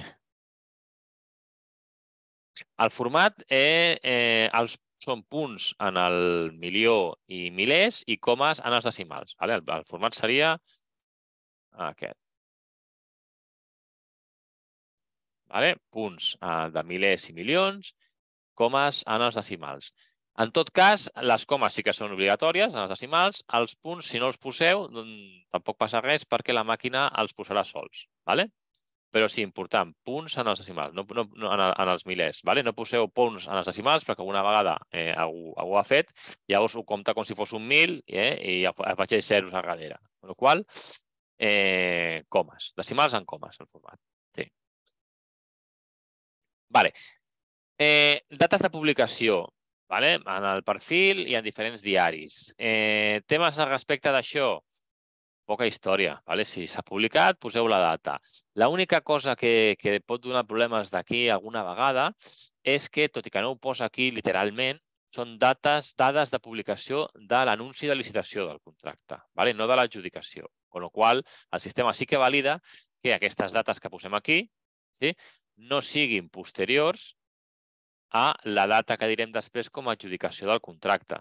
Vale? Si la data que posem aquí com a anunci és posterior a la data d'adjudicació, ens donarà error. Vale? Perquè, tot i que no ho diu, ja us ho dic jo, fa referència a la data de publicació de l'anunci de licitació. Vale? És un problema tampoc és molt comú, però alguna vegada m'ho he trobat amb, amb algun contracte que ha tingut problemes l'usuari per, per aquest tema. Sí? Vale. Fins aquí vale? seria la part de les dades que fan referència a les dades del contracte. Vale? Com us dic, totes les dades a l'RPC són com dos blocs, dades contracte, dades lot. Vale? Aquesta part, en, en cas d'un contracte amb més d'un lot, seria comuna. Vale? Tindríem una, una pantalla, una plantilla amb dades del contracte i després hauríem d'emplenar tantes pantalles de dades del lot com lots hem dit que té el contracte. Vale? I si no, doncs seran, seran, serà només una i una, si és només un contracte d'un lot. Vale? També vale, les dades del lot, vale, aquest bloc d'aquí, és el mínim que té el, el registre, vale? és, és, és la part mínima que permet gravar. Vale? Què vol dir això?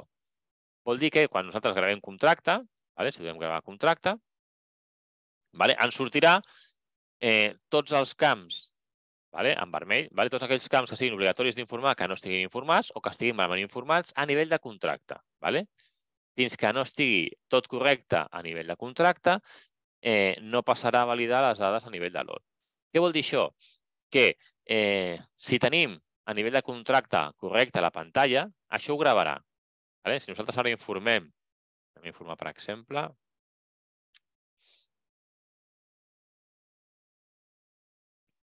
vale? les dades a nivell de contracte, vale? posem port, estimat del contracte,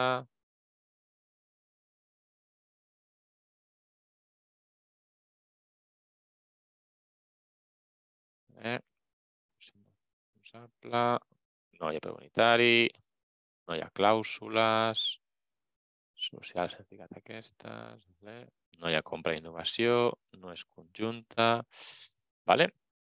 i gravem el contracte. de preus.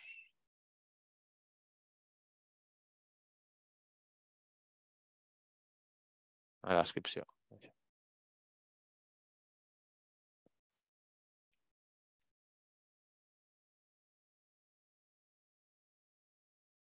D'acord? Com veieu, ara surten nous camps vale, en vermell que abans no sortien, vale? perquè són tots aquells camps que a nivell de lot s'han d'informar perquè a nivell de les dades del contracte vale, ja estan totes informades correctament. Vale? Per tant, només passa a validar la següent part, que són les dades del lot. I, a més a més, si us fixeu, ja tenim aquí número de registre. Vale? Ens ha ficat aquí a l'1, perquè és el primer contracte del 23 que tinc per aquesta entitat. Què vol dir això? Això vol dir que això ja està gravat. Vale? Està gravat només la part de les dades del contracte. Vale? Fins que no tenim tota la part del contracte, les dades del contracte, informades correctament, vale? i que, per tant, ens dona número de registre, no hi ha res informat. Vale?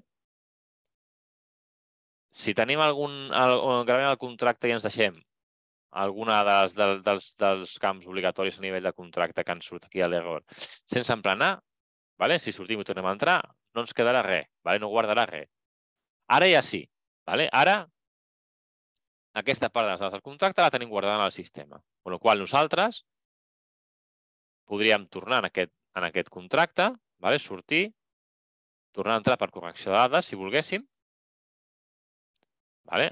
buscaríem el contracte, en aquest cas per codi expedient, que l'he copiat, vale? i el tindríem aquí.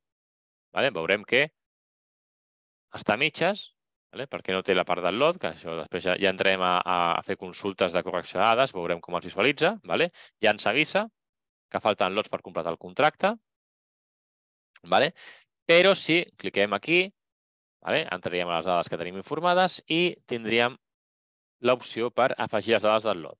Vale? Clicant en aquest botó, vale? entraríem a la, una altra vegada a la pantalla de les dades del lot vale? per poder continuar informant aquest contracte. Vale? Con lo qual, si tenim la part del contracte gravada, vale? sí que tenim alguna una mínima part d'informació que podem després eh, anar a buscar per, per acabar de completar aquell contracte.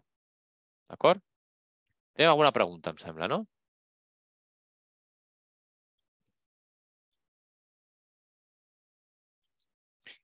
Vale.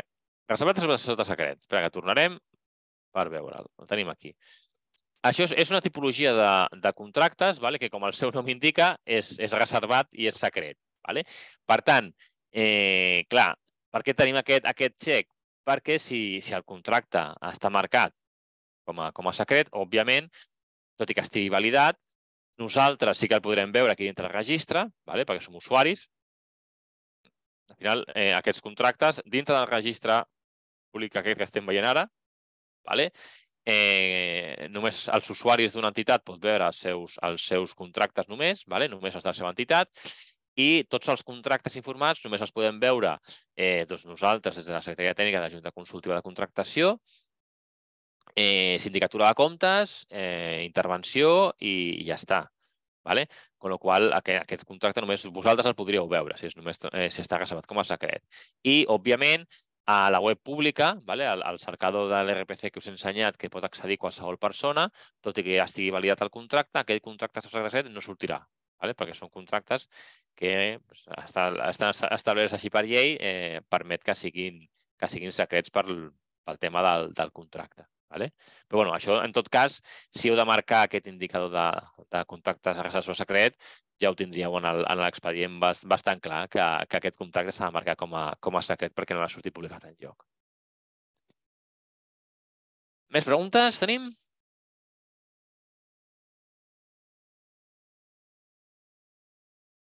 No. Uh, ara, ara mateix no, perquè aquesta dada encara no l'hem posat. Vale? Les dades de, a nivell de contracte vale? són les que hem vist fins ara. El, el CIF de l'empresa adjudicatària eh, és una dada que trobarem a nivell de lot. Vale? A nivell de lot vale? tenim aquí les dades de l'adjudicatari. Vale? Con lo qual, ara quan, quan arribem ja us explicarem, eh, de com, de com, de com canviar-ho. Vale? En tot cas, eh, qualsevol dada que no sigui una dada bàsica, de les que hem dit al principi, vale? del, del tipus de contracte, l'organisme, l'any d'execució, el número de lots, qualsevol dada, mentre el contracte el tingueu o no és el contractant, per correcció de dades podrem entrar a, a corregir-ho. Vale? Amb la qual ara, ara veurem com, com informar l'adjudicatari i, en tot cas, com, com corregir el, el contracte. Ara ho veurem. Vale. Dades de lot. Què tenim aquí interessant a nivell de les dades de lot? número de lot, vale? cap misteri, l'import de licitació del contracte, el que sigui, cap misteri. En aquest cas, si és un contracte d'un sol lot, eh, seria l'import de licitació del, del contracte. Vale? De fet, eh, ho podeu deixar en blanc perquè al gravar copiarà el que hem posat al, a nivell de contracte. En el cas que tinguem més d'un lot, haurem de posar l'import de licitació d'aquell lot en concret. Vale? Sí que hem de tenir en compte que en aquells contractes amb, amb més d'un lot eh, ha de ser eh, el, el mateix import. O sigui, la suma de tots els imports de licitació dels diferents lots vale? ha de ser igual que el contracte, que, que, el, que l'import licitat que hem posat nosaltres a les dades del contracte com a import de licitació del contracte. D'acord? No pot ser que la suma després doni una altra cosa. Vale? I l'import adjudicat? L'import adjudicat, no té més. Sense IVA. Vale? El mateix, aquí, en el cas de tema tipus d'IVA, en el cas d'IVA múltiple, Vale? Doncs en comptes de marcar el tipus d'IVA, marcaríem aquest indicador d'IVA múltiple que ens permet informar a l'import adjudicat amb IVA. Si no marquem aquest flag, vale? el camp aquest vale? no, podem, no podem escriure. Vale? L'import adjudicat amb IVA està bloquejat. Vale? S'ha de posar sempre l'import sense IVA i el tipus d'IVA. Vale? Només podrem obrir aquest camp si marquem el xec de IVA múltiple, que llavors desapareix el tipus d'IVA i informem quin és l'import adjudicat amb IVA. Vale? El tema del termini me'l guardo per d'aquí una estoneta. ¿vale? Data d'adjudicació, no té més, quan s'adjudica el contracte. De formalització, no té més, quan es formalitza el contracte. ¿vale? Inici, execució i fi prevista. ¿vale? Aquí és on, on m'interessava guardar-me el tema del termini. Vale, teniu dos terminis, com veieu. Termini durada, termini total. Vale? En el termini durada sí que podem informar vale? anys, mesos i dies. Vale? El termini total és, al igual que el camp per adjudicat a mi, va estar bloquejat. Vale? En aquest camp no podem informar res. Vale? Aquest camp, un cop gravem, eh, es guarda el que hem informat a, a termini durada i es va modificant conforme s'informessin posteriorment modificacions de, eh, del contracte afegint termini. Vale? Però és un camp que no podeu editar, només el termini durada. Eh, respecte a les dates d'inici del termini, si posem data inici execució? I data fi prevista, amb el termini, el càlcul ha de ser exactament el mateix. D'acord? Con lo qual, si posem que el termini és un any, l'inici de, de durada, i l'inici és el 30 de, de gener del 23, la fi prevista hauria de ser el 29 de gener del 2024. Vale? Perquè els terminis RPC els calcula de data a dia abans de la data, vale? del 30 al 29. Del 30 al 30, per RPC, seria un any i un dia. D'acord? Eh, què podem fer per evitar tenir que, que anar posant això? Vale? i és el millor, vale? perquè tot i que sembla molt fàcil el tema d'aquest de calcular el termini amb el, amb els dies exacte, de vegades pot donar problemes. Per tant, què és el millor? Què recomanem des d'aquí, des de la Junta? Posar només una de les dues coses. Posar la data inici, això sí, i triar. Vale? O el termini o la data fi. I quan gravem les dades del lot, el sistema et calcularà l'altre. Vale? Amb la qual per evitar problemes, el que tinguem més a mà, data d'inici data de fi, val? i el termini llavors el deixem en blanc, o data inici i termini, i llavors deixem la data fi prevista en blanc. Vale? És més pràctic.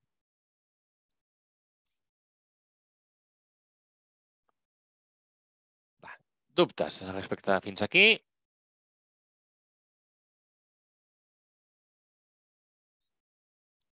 Arribarem aquí. Vale? Tema dels deserts. Sí. Vale? Ara, de fet, aquí el tenim, l'indicador del desert. Els lots deserts s'informen a l'RPC igualment. Vale? Tant si és un contracte amb diversos lots que un dels lots quedi desert, com si és el contracte sencer que queda desert. Vale? S'ha d'informar. Con lo qual, què informaríem?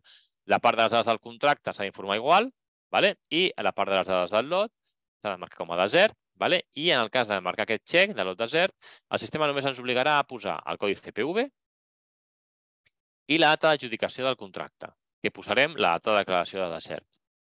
Vale? I no informaríem res més. D'acord? Tota la resta de les dades del lot quedaria en blanc. Però sí, els deserts s'han d'informar. Vale? Una altra pregunta, vinga.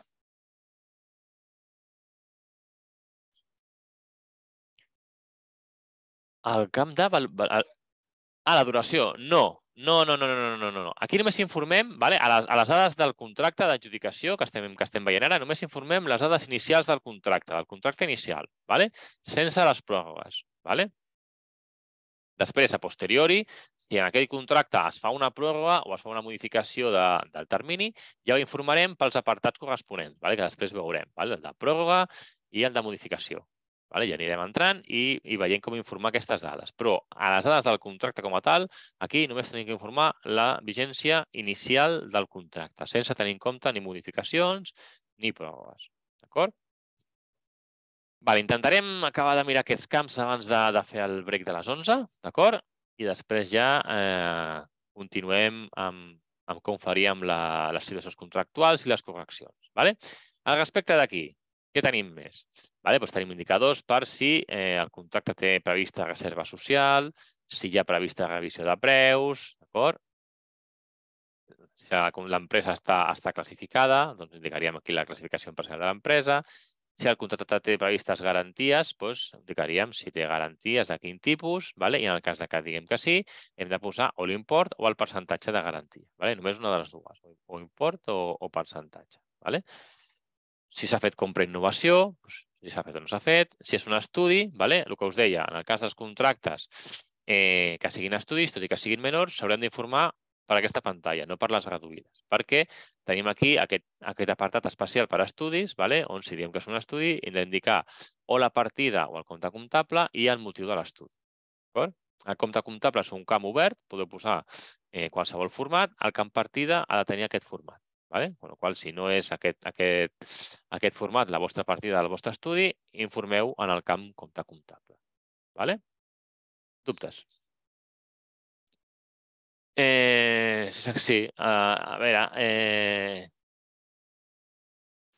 a les dades del, del contracte vale, tenim també un, un indicador vale, que, ens, que ens fa referència si, si hi ha prevista compra pública d'innovació en, aquell, en aquell contracte. Vale? És, és una tipologia de contractes que preveu eh, doncs la compra d'innovació, que pot ser que estigui prevista o no estigui prevista, pot ser sí o no. Vale?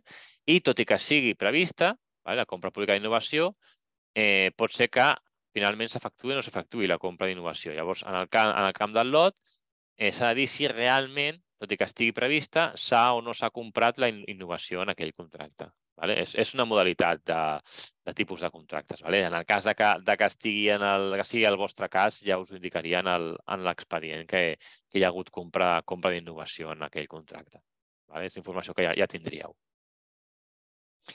Vale? La descripció del lot, Vale? En principi, copia la del, la del contracte.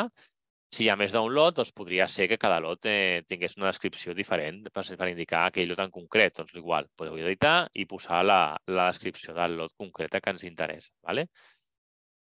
Eh, indicador per contracte mix, vale? d'aquí el lot desert, vale? si hi ha hagut eh, acord de govern, el CPV, vale? l'informe codi CPV. En principi ja el tindreu al vostre expedient, si no, tenim aquí el cercador vale? per cercar per, per objecte doncs, quin és el, el vostre CPV. Vale? Aquí, per indicar eh, si el contracte té un cànon, vale? si, hi ha, si, hi ha, si hi ha cànon, si teniu un ingrés amb aquest contracte, doncs indicaríeu quin és el cànon, eh, quina és la informació, si és anual, mensual, trimestral, si és subvencionat, el que sigui. En aquests casos vale, de contractes que hi ha cànon, normalment són contractes eh, en els que vosaltres no teniu cap despesa. Vale? Con lo qual, aquests contractes, l'import rebeu, vale, ja l'informareu aquí en l'apartat del cànon, però eh, tant a l'import licitat com adjudicat vale? heu de posar zero, perquè els imports a RPC s'entén que són despesa. Vale? Com no hi ha despesa, posareu import zero. Per poder posar import zero, vale? tant a licitat com a import adjudicat, teniu que marcar aquest xec d'aquí d'imports a determinar.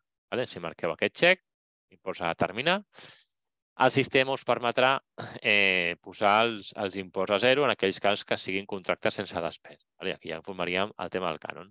Vale? I l'adjudicatari, que és l'última dada que ens queda aquí a nivell del, del lot, doncs el mateix que abans. Posaríem el, el, el NIF de l'adjudicatari i li donaríem el botó consultar.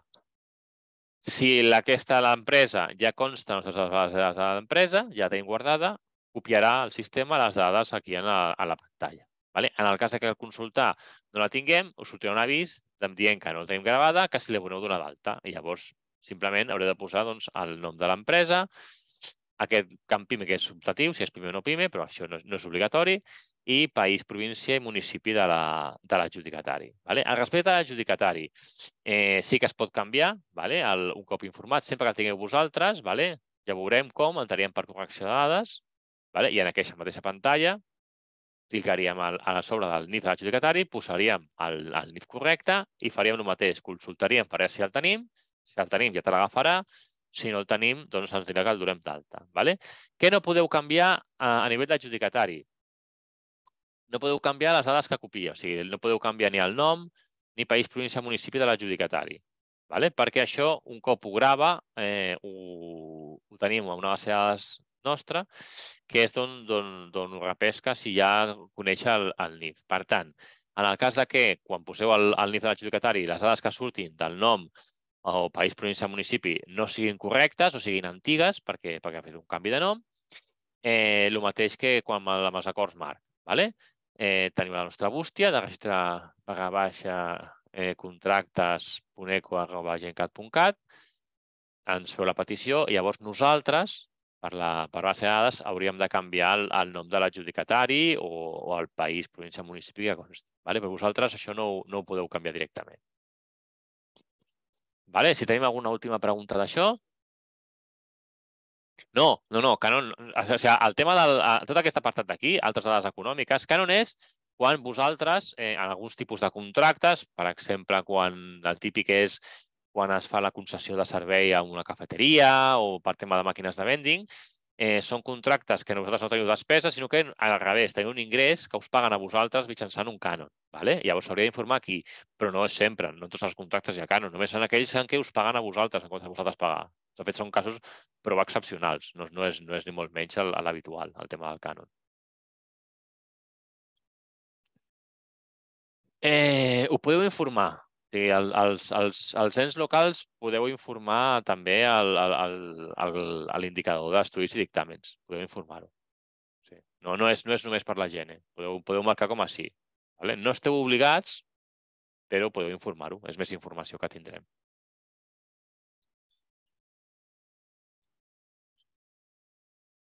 Sí, eh, sempre, sempre que es publiqui. O sigui, a les dades de publicació que hem vist a, a la, al, en el perfil, sobretot, perfil, en el DOE, en el DOC, eh, clar, en el cas, per exemple, d'un contracte negociat sense publicitat, vale? que no es publica en lloc perquè no té publicitat, no, no, no és obligatori perquè no es publica en lloc. Vale? En el cas d'un eh, menor, tampoc. Vale? Clar, és obligatori eh, en el cas de que el vostre contracte s'hagi publicat l'anunci. Vale? En el cas d'un contracte harmonitzat que s'ha de publicar al DOE, doncs el sistema t'obligarà a que posis la data de publicació en el DOE. Vale? És obligatori segons quins casos, segons quins contractes. Vale? Però no per tots els contractes. Hi ha molts contractes que no, no s'han de publicar i llavors el sistema no et demanarà la data de publicació d'aquells contractes que no s'han de publicar. El CPA no s'ha de posar. No, només el CPV. El CPA és, és, és, un codi antic que no, no cal posar-lo. CPV. CPV és el que s'ha de posar. Sí, el CPA ja ni, ni, ni l'he comentat perquè està allà, però és, és una codificació antiga que no, no, no s'ha no de posar. Inici execució. Vale? La, el tema plurianual, vale? tant un com l'altre, camp plurianual com plurianual sobrevingut, el que, el que marca és inici execució i fi prevista, que siguin anys diferents, que si comenci un any i acabi un any diferent. Execució, sí, execució. Si l'adjudicació es fa, eh, en principi hauríem de parlar-ho, això. Vale? Un contracte que, que s'adjudica posteriori, a no ser que sigui eh, un contracte d'emergència, que sí que està previst en aquests casos, vale? que, que el, el sistema et deixa gravar, eh, si no és una emergència, eh, hauríem de parlar-ho, això de que un contracte eh, s'adjudiqui a posteriori de l'inici d'execució. En principi, el sistema eh, et donaria problemes. Bueno, qual, si és el cas, eh, fes, fes un correu eh, i, i ho comentem, el cas concret.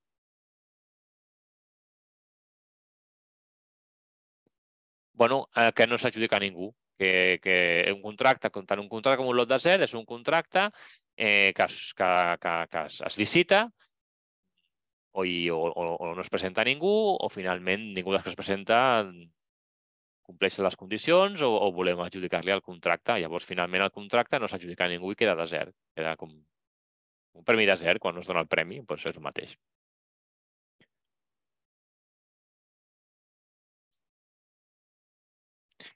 Mm, per vosaltres, eh, com si cap, vale? perquè no podeu tocar el durada. El termini durada és el termini del contracte, vale? el termini total seria el total eh, d'aquell eh, contracte. Vale? No, no, no, no l'inicial, sinó el total. Per tant, aquest és el que us dic, aquest no el podeu tocar vosaltres, vale? aquest és un camp calculat. Llavors, conforme al termini durada inicial del contracte, quan graveu, es posa aquí mateix, vale? però això eh, conforme s'informen modificacions de contracte o, o, o pròrrogues, aquest termini doncs, el va calculant aquí també. Vale? Llavors, és el, el, el total de no només el contracte inicial, sinó de la resta de la vida del contracte.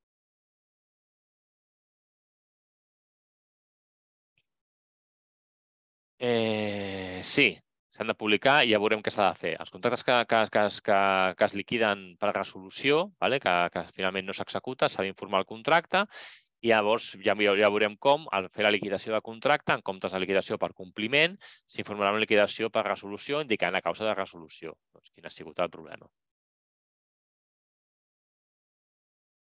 Després anticipada, sí, és, és complicat. Si voleu, fem el descans ja i a la, a la tornada eh, m'apunto aquí i, i comentem la despesa anticipada i ja i continuem amb, amb la resta de, de cosa, d'acord? Fem, fem ara una mica de, de descanset. Vale? I tornem en, a mitja, si voleu. D'acord? A les 11 i mitja ens tornem a connectar i, i seguim. D'acord? Vinga, doncs, eh, agafeu forces i, i continuem. Bueno, ja, ja hem descansat una miqueta. Eh? Tenim... Estem més,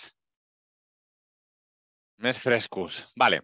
Eh, abans de continuar, eh, farem farem tres, quatre preguntetes que havien quedat aquí, aquí pendents. ¿vale? El tema de la despesa anticipada, eh, ¿vale? que em comenten que, eh, que hi ha dubtes. Vale, la despesa anticipada vindria a ser, en el cas d'aquells contractes, ¿vale? que ficarem les, les dates que es veuran,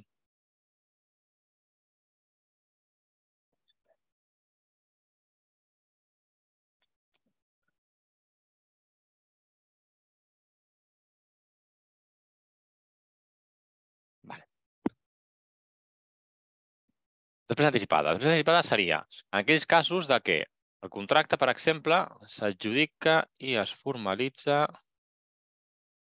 vale, al 2020. Vale? Però l'execució ja es comença al 2023. D'acord?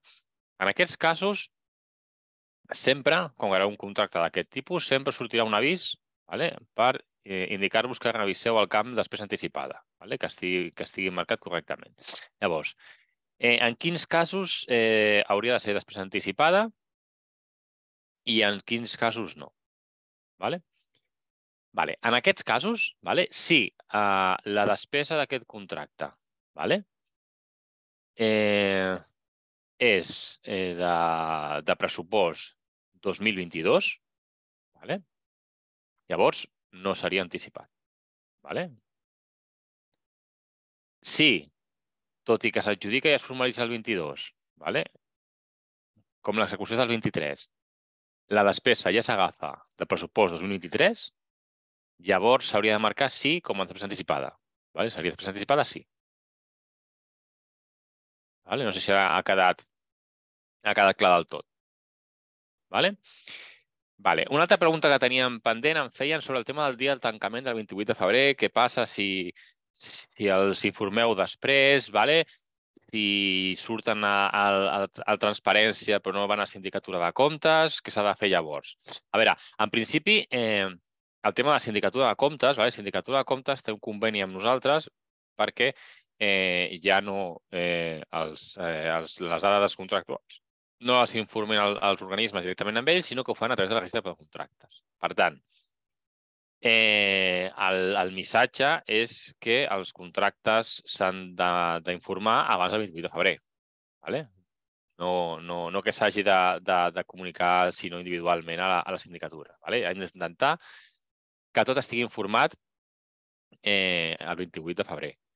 I, en tot cas, com ja us he dit, a posteriori, vale, a, cap a finals d'any, fem un segon enviament tant al registre de Madrid com a sindicatura de comptes, vale, amb tota la informació que ha entrat entre el 28 de febrer i quan fem aquest enviament, que sol ser, ja us dic, cap al novembre, si fa o no fa. D'acord?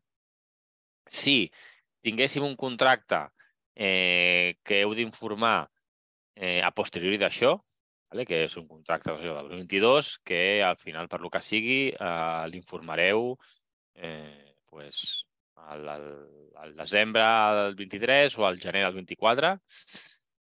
Eh, clar, si voleu, a part, clar, això ja a Sindicatura de Comptes i a Registre de Madrid no s'enviarà. Vale? Què heu de fer de si heu de comunicar-ho directament a Sindicatura de Comptes? Que no sé ni si tenen ja habilitat cap forma de, de comunicar-los contractes ara mateix, perquè en teoria tot es fa via RPC. En qualsevol cas, si us trobéssiu en aquest cas excepcional, que en principi s'ha d'evitar perquè no s'ha de fer això, vale? no, no hauria de, de trobar-nos en aquest cas, però si passés, eh, el mateix que us dic sempre, parlem-ho. Eh? Envieu un correu i, i ho comentem a veure què, què podem fer amb aquell contracte. Vale?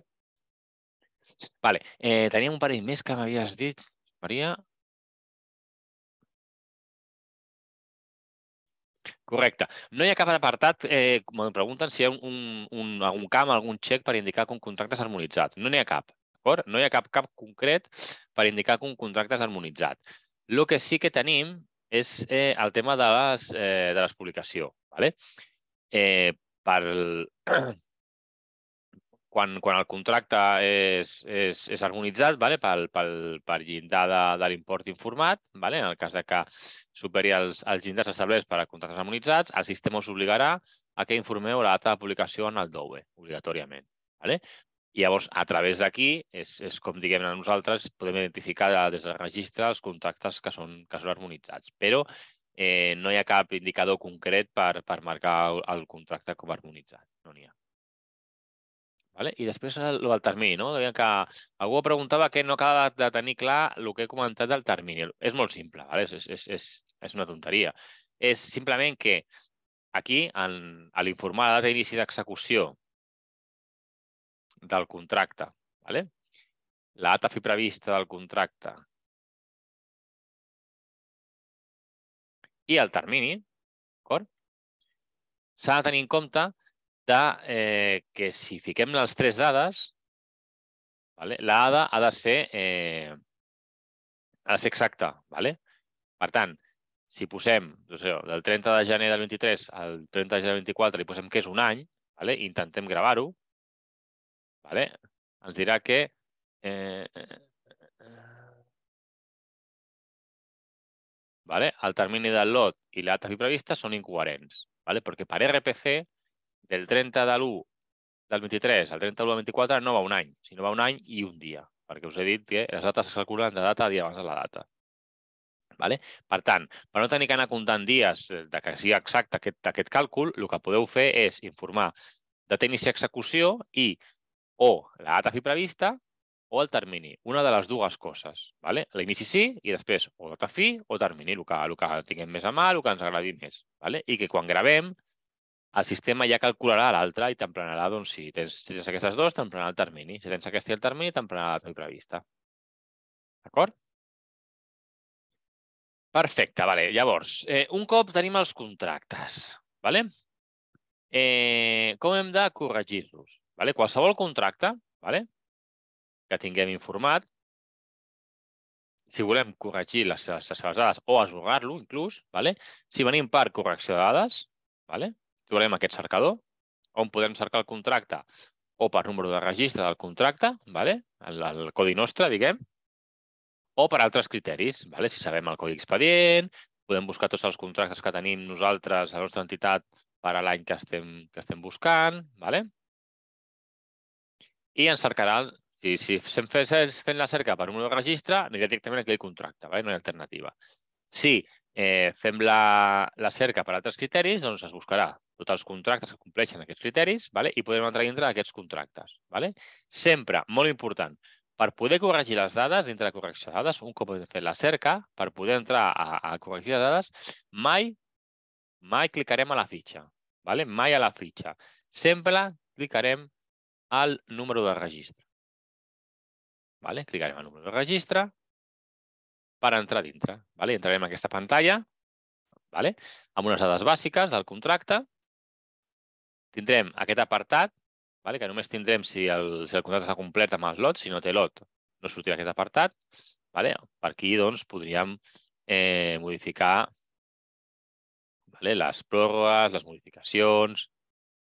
Podríem entrar aquí directament al lot, però no us acostumeu, vale? perquè després no, no, no sabem si hem d'entrar per aquí, per l'altra banda, con lo qual, per fer-ho fàcil, dintre d'aquesta pantalla sempre tindrem en aquest quadre de dades bàsiques un botó que es posa modificar dades. Vale? Aquest botó modificar dades només el tindreu actiu quan el contracte el podeu, el podeu corregir.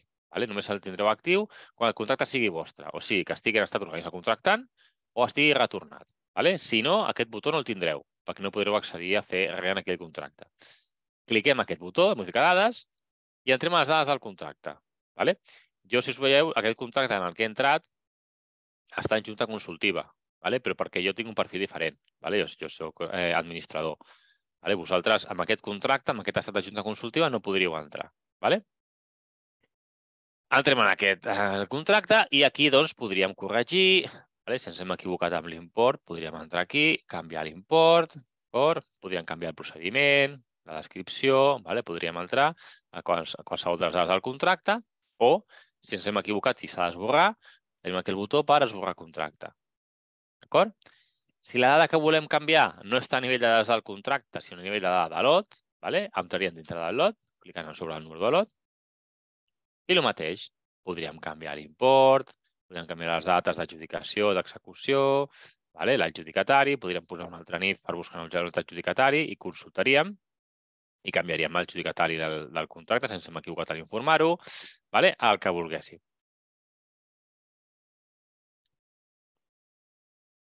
D'acord?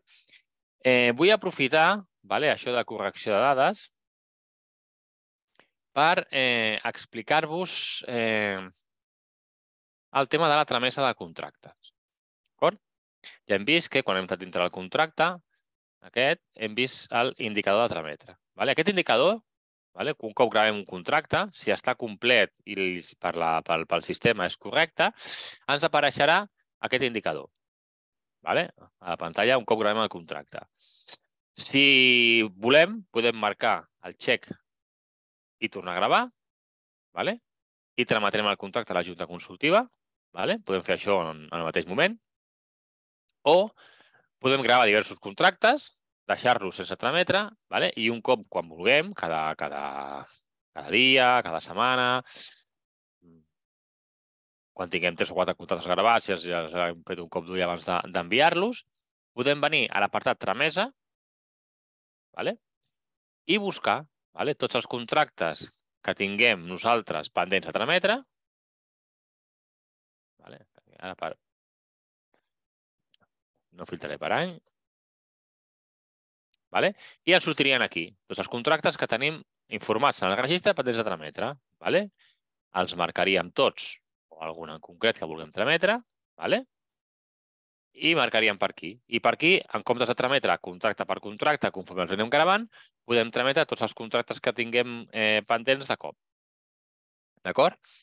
Recordeu, és important no només gravar les dades dels contractes, sinó fer la tramesa d'aquells, perquè si no es fa la tramesa, vale, no ens podem validar nosaltres. I fins que no es validem, les dades no són definitives. Vale? És com un esborrany. Vale? No és vàlid. Eh, per tant, és molt important que abans del 28 de febrer tots els contractes que tingueu informats els tingueu tramesos, amb la qual que no tingueu cap contracte en estat organisme contractant. D'acord? Respecte d'això, dir-vos una cosa important també. No és només suficient en venir aquí a tramesa vale? i que no surti cap contracte quan feu la cerca pel 2022, vale? com en aquest cas. Vale? Que us digui que no hi ha contractes per a trametre no vol dir que tingueu tots els contractes eh, ja tramesos. Potser que, tot i que qui us digui que no teniu cap pendent de trametre, encara us quedi algun contracte en estat organisme contractant. Vale? Per què és això? Vale? Això és així, vale? molt important això, perquè els contractes, eh, pot ser que tingueu contractes incomplerts, que la màquina detecti que estan incomplerts. Vale?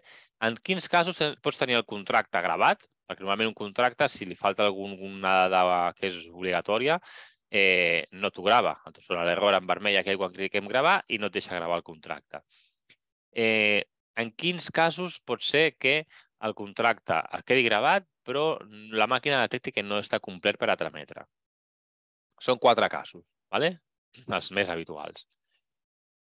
El contracte, que li faltin lots, ¿vale? que li haguem dit que aquell contracte tindrà tres lots i només hem informat dos. ¿vale? Si li falta algun lot, no estarà complet i no es podrà trametre.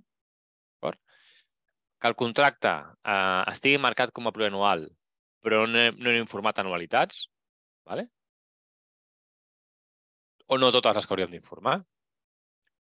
Que el contracte superi els llindars que estableix Indicatura de Comptes per adjuntar documentació.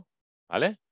Són en contractes de serveis 150.000 euros, en contractes de subministraments 450.000 euros i en contractes d'obres 600.000 euros. ¿vale? Els contractes adjudicats a partir d'aquests imports, per poder fer la tramesa, s'ha d'adjuntar el PDF de contracte i plecs.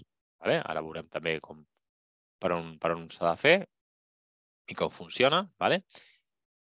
O contractes d'obres que no siguin menors que no tinguin ofertes. Les, les, les dades de les ofertes dels ofertants són optatives, no són obligatòries, excepte en els contractes d'obres que no siguin menors. En aquests casos és obligatori. Vale? Per tant, en aquests quatre casos, vale, que ara, ara, ara revisarem un per un amb, amb detall, vale? de casos de contractes incomplerts, vale? com trobar-los i com solucionar el problema, doncs, excepte en aquests, eh, en aquests casos, eh, trobarem que el contracte no es, no es pot trametre. Sempre seran aquests quatre casos, ¿vale? que faltin lots, que faltin documents, que faltin anualitats o que faltin ofertes. ¿vale? Com hem de fer llavors per trobar aquests contractes que no surten aquí a, trametre, a, a tramesa, ¿vale? però que encara estan en estat d'organisme contractant? ¿vale? Per correcció de dades una altra vegada. ¿vale? Igual que eh, hem vist abans per, per esborrar o corregir un contracte que tenim informat, vale? per correcció de dades, és per on tenim que fer aquesta cerca. Per què? Perquè eh, podríem fer-la també per consulta de contractes, vale? perquè al final el filtre que fa és, és molt semblant i podríem trobar aquests contractes quins són. Però fent la cerca per correcció de dades ens permetrà, un, eh, que ens digui el motiu pel qual no està complet el contracte. Quan entrem dintre del contracte ens dirà doncs, si li falten les anualitats, si li falten els lots, si li falten els documents o si li falten les ofertes. I des d'aquest mateix eh, apartat podrem accedir a corregir el que falta i completar el contracte per poder fer la tramesa. Amb la qual com farem la cerca? Doncs dintre de correcció de dades buscarem els contractes de l'any que estem tancant i aquí han estat el contracte filtrarem vale? Per l'estat que estem buscant, que és l'organisme contractant, vale? perquè no volem que quedi cap en aquest estat. I cerquem. D'acord? Vale, veiem que en aquest cas, abans a tramesa no ens sortia cap i ara tenim tres contractes. Vale? Quan, quan aquests tres contractes eh, no els podem trametre directament, però estan organisme contractant. Per tant, alguna cosa els hi passa. Vale? El mateix que abans. Red de la fitxa, la fitxa mai la tocarem. Número de registre. Cliquem al número de registre Vale? Aquest espera, perquè aquest és un, és un altre cas que no dona error. Vale. Vale? I un cop dintre, vale? aquí a dalt trobarem aquest eh, indicador groc que ens dirà per quin motiu no està complert el, el contracte. Vale? En aquest cas, perquè és una obra que no és menor i falten les ofertes. D'acord? Eh, en qualsevol cas, eh, què hem de fer per corregir el, els, els diferents casos? Vale? Pues, en el cas que faltin lots, optaríem a afegir els lots, vale? clicaríem aquí, ficar dades, i aquí tindríem el botó per anar afegint els lots que ens faltessin. Vale? Seria simplement donar el botó perquè sortís la pantalla amb la resta de dades de lot que hem vist, emplenar-les i, i informar el, el lot. Vale? En la resta, doncs, com tant les ofertes com els documents com les anualitats, tot s'informa a nivell de lot, vale? entraríem dintre del lot que tenim, Vale? Clicant sobre el número per entrar dintre. I afegiríem la informació que falta. D'acord? En aquest cas, ofertes. Doncs tenim aquí l'apartat detall d'ofertes presentades. vale? on l'únic que hem de fer és botó afegir nou i és igual que quan el, que el judicatari. L'única diferència és que afegim l'import. Per la qual busquem per NIF a l'ofertant, consultem, si el troba, posarà les dades, si no el tenim a la base de dades, et dirà que la, que la donis del tatu i l'import de l'oferta. Un qualsevol i afegim oferta. D'acord? I així anirem afegint totes les ofertes d'aquell contracte. Vale? Eh, si ens equivoquem, marquem el flag i esborrem. Vale? I eliminarà l'oferta. Vale? Pregunta típica, eh, que és doble. Es contesten les dues de la mateixa forma. Què passa amb aquells contractes que només té eh, l'adjudicatari, que no hi ha més ofertes? O, l'altra forma també de preguntar, què hem de fer amb l'adjudicatari? S'ha d'incloure com a oferta o no? Doncs la resposta a les dues és sí. Vale? L'adjudicatari també s'ha d'incloure entre les ofertes, perquè també va fer una oferta. Vale? I, per tant, en el cas que el contracte no tingui cap altra oferta més enllà de l'adjudicatari, no hi ha cap problema, perquè com tindrem l'oferta de l'adjudicatari, ja tindràs una oferta que, que informar. D'acord? Con la qual eh, no, hi ha, no hi ha problema. D'acord? Sempre, eh, ja us dic, és, és, és optatiu el tema de les ofertes, no hi ha, no hi ha obligació, excepte en els contractes d'obres que no siguin, que no siguin menors. D'acord? Primer cas de que eh, ens trobem contracte incomplet que no es pot trametre, vale? falta d'ofertes. Eh, quins altres casos teníem? Vale? Falta de documents. És també segurament la més, la més habitual. Falta de documents. Vale? Recordeu, contractes d'import adjudicat, serveis a partir de 150.000 euros, subministraments a partir de 450.000 euros i obres a partir de 600.000 euros, s'ha d'adjuntar als PDFs de contracte i plecs. D'acord? Ara per ara ja no és obligatori que estiguin signats electrònicament els PDFs. Abans sí, vale? ara ja no és obligatori. Només que sigui un PDF, d'acord? I l'única limitació és que aquell PDF no pot superar les 10 megas. Vale? Podeu penjar tants PDFs de 10 megas com vulgueu, però el PDF individualment no pot superar les 10 megas. Vale? Com adjuntem els documents? Molt fàcil. Vale? A l'apartat llista de documents de lot, que tenim al final de les dades del lot, l'últim apartat de tots, afegir nou, igual que hem fet en les ofertes. I apareix el, el, el camp amb la informació del, per adjuntar documents. Vale? Tenim el botó per buscar el, el PDF no el tinguem guardat. Indiquem el tipus de document, si és el contracte, si són els plecs, si és el projecte o altres. El projecte o altres documents ja és subtratiu, podeu adjuntar el que vulgueu. Però obligatori és contracte i plecs. I la descripció del, del document. I un cop afegit, cliquem al botó d'afegir i ja tindrem el, el document. D'acord? No té, no té cap, cap altre, altre misteri. Vale, abans de passar a anualitats, eh, algun dubte dels documents o de les ofertes? O d'afegir lots? Correcte, només l'oferta econòmica. O sigui, les ofertes només et demana el NIF i les dades de l'ofertant, o sigui, NIF, nom, país, província, municipi i l'import de la seva oferta, sense IVA.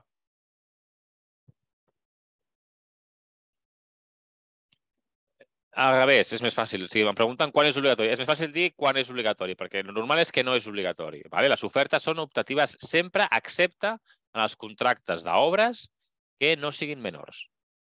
Tota la resta podeu informar-la si voleu, però el sistema no us obligarà. Però eh, per poder trametre el contracte us obligarà que hi hagi ofertes en els contractes que siguin obres no menors.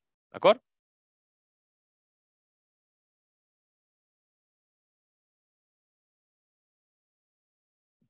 Vale, doncs si no tenim més preguntes al tema de, de documents i ofertes. Sí? Sí, els, els llindars, eh, això, el manual i les fax ho teniu, tot això. Eh? O sigui, tant, tant el manual com les fax, que com ja us he dit, us ho recordo si no, teniu aquí dalt, manual i les fax, tot això ho teniu. Vale? Però els llindars són eh, en contractes de serveis, a partir de 150.000 euros d'import adjudicat sense IVA, en subministraments 450.000 euros d'import adjudicat sense IVA i en obres 600.000 euros per adjudicat sense, sense IVA. En tots aquells lots que l'import adjudicat superi aquests llindars, s'ha d'adjuntar la documentació.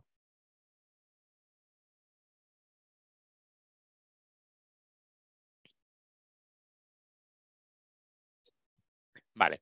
Llavors, eh,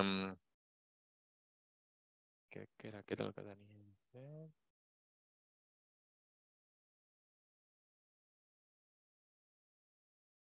Sí, ara eh, l'últim cas, aquesta les té aquí, les esborraré.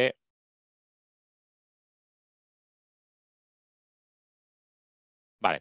Llavors, l'últim cas de, de contractes que estan, que estan eh, per completar, llavors no es poden fer la tramesa, recordeu, eh, falten lots, o sigui que hem dit que un contracte tindrà, per exemple, tres lots i hem informat només dos, falten documents, vale? superen els llindars que hem dit, s'ha d'ajuntar la documentació, ofertes, vale? contractes que siguin obres no menors, s'ha d'informar eh, les ofertes. Eh, L'últim cas, anualitats. Vale? En els contactes que estiguin marcats com a plurianuals, vale? com aquest, per exemple, que comença el 2022 i acaba el 2023. Per tant, per RPC això eh, és plurianual, independentment de la duració del contracte, serà sempre plurianual. I, per tant, ha de tenir anualitats. Vale?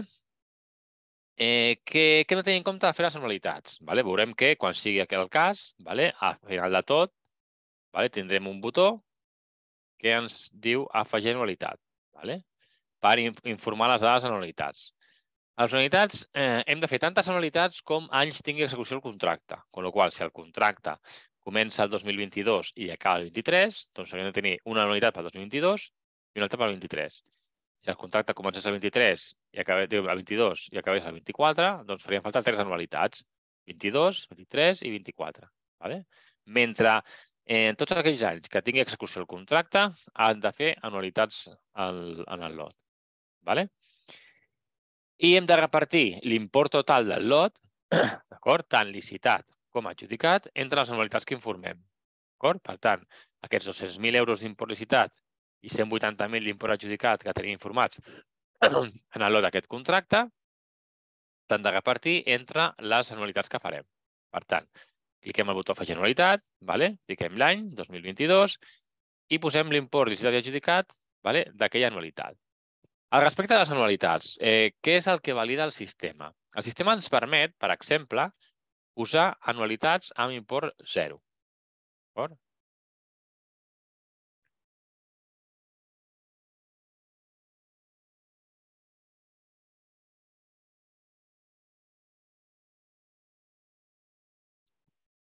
I també ens permet que per un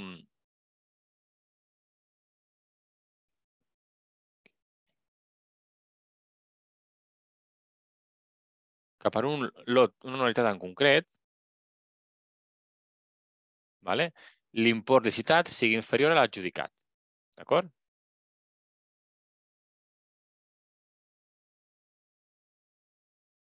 Per tant, ens permet tant informar anualitats amb, amb imports zeros com que per a una anualitat en concret o, o diverses anualitats en concret, l'import licitat sigui inferior a l'import adjudicat.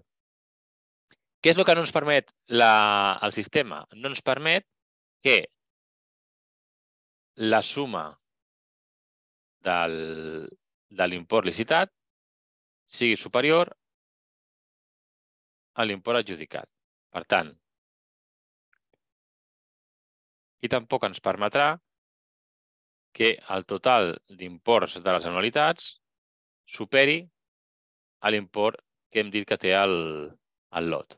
D'acord? Per tant, si intentem informar a, a l'anualitat un import que sumat amb l'altra anualitat que tenim guardada faci que sigui més gran que l'import que tenim inscrit en el, en el lot, vale? ens avisa de que no poden ser superiors a l'import. I no ens gravaria, vale? no ens gravaria aquesta anualitat.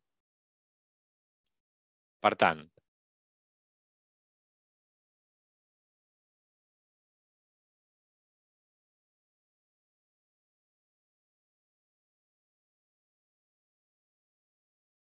Com funciona el tema de les anualitats?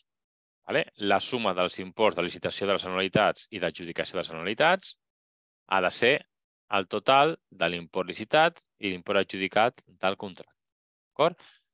No pot ser superior tot i que per alguna unitat en concret ens deixi posar import a zero o ens deixi posar eh, import licitat inferior a l'adjudicat. Vale? Però en la suma total ha de ser més gran la licitat que l'adjudicat i els imports totals han de ser els mateixos que hem posat a les dades del, del lot. D'acord? Vale. Eh, al respecte de les anualitats, de, de com informar-les, algun dubte? No? Perfecte.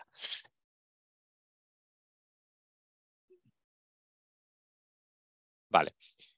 Continuem. Vale? Recordeu, és molt important això, eh? eh de cara al 28 de febrer, pel tancament, eh, no us quedeu només a que a tramesa no us surti cap contracte. Vale?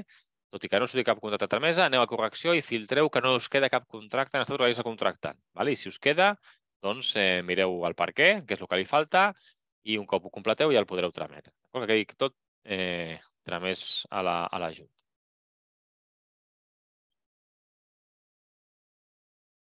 Sí, és, eh, respecte dels imposts d'anualitat, sí, el, el, el permet informar eh, imports a, a zero en anualitats per, per fer això. En el cas, per exemple, d'un contracte que tingui execució en dos anys, però tota la despesa estigui imputada a un sol exercici, s'han de fer les dues anualitats perquè el sistema ens obliga, però es pot posar tot l'import en una sola anualitat i l'altra posar-la amb impost a zero. Sí, sí que ens ho permet. Per això, de fet, per això es va, es va habilitar que, que les anualitats es poguessin fer a, a zero.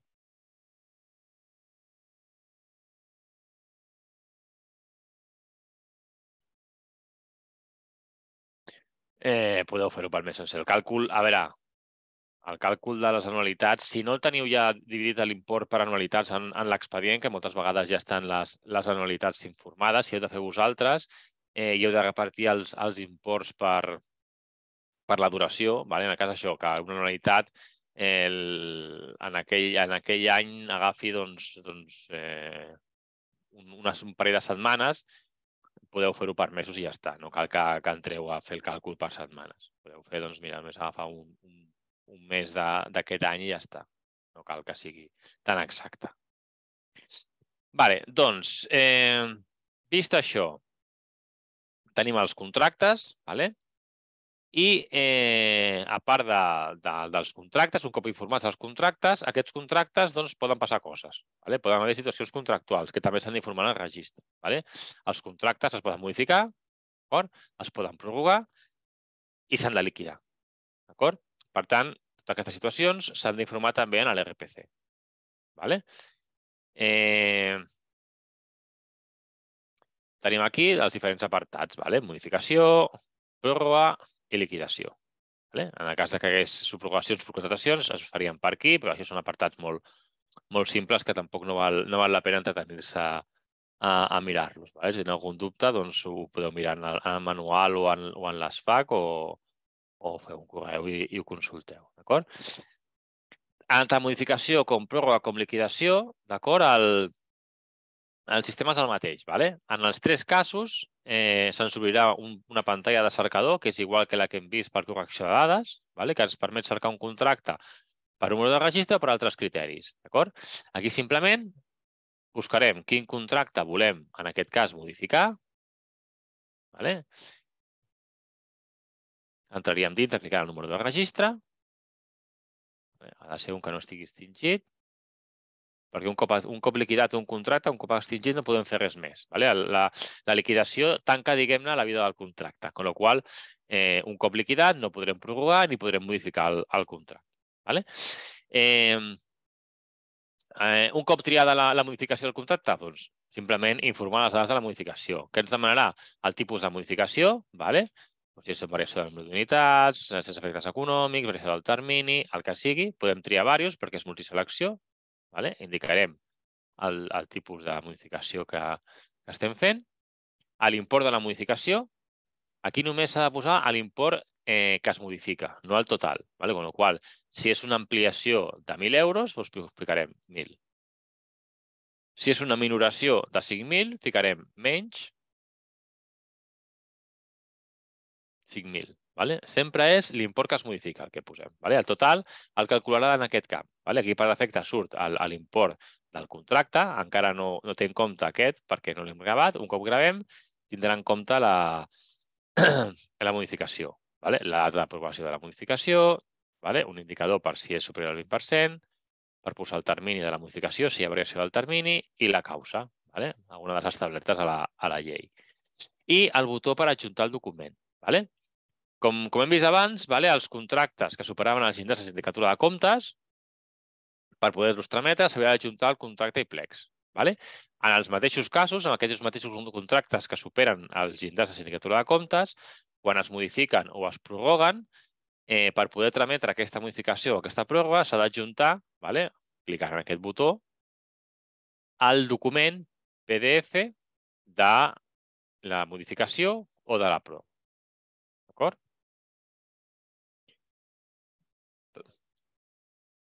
El mateix que hem dit abans, els imports, si no diu res, sense IVA. En aquest cas diu més import sense IVA. Vale?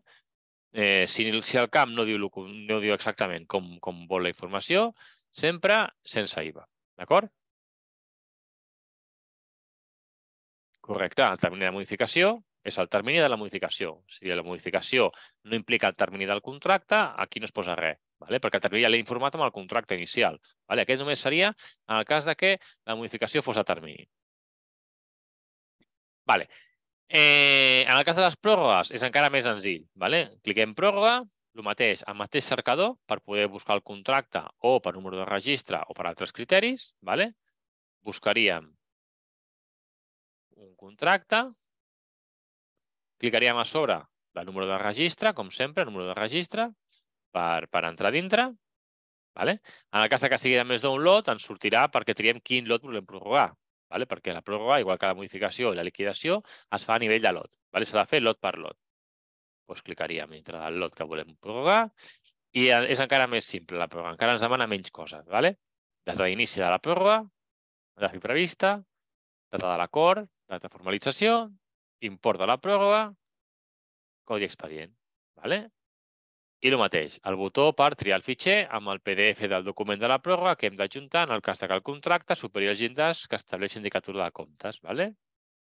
Ja els tenim clars, no els tornem a repetir perquè ja has dit moltes vegades. Sí? Perfecte. Vale, pròrrogues eh, enllestides. Anem amb una cosa eh, més delicada.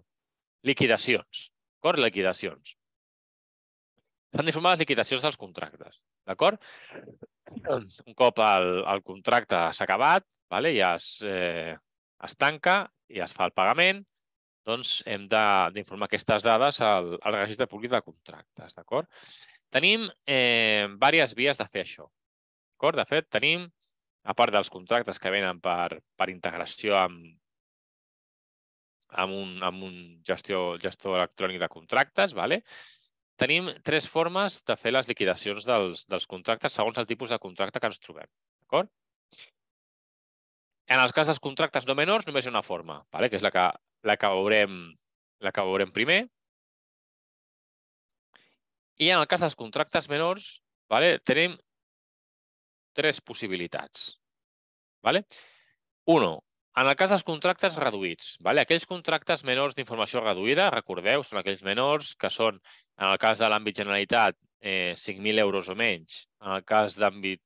No, al revés. En el cas d'àmbit Generalitat, 3.000 euros o menys.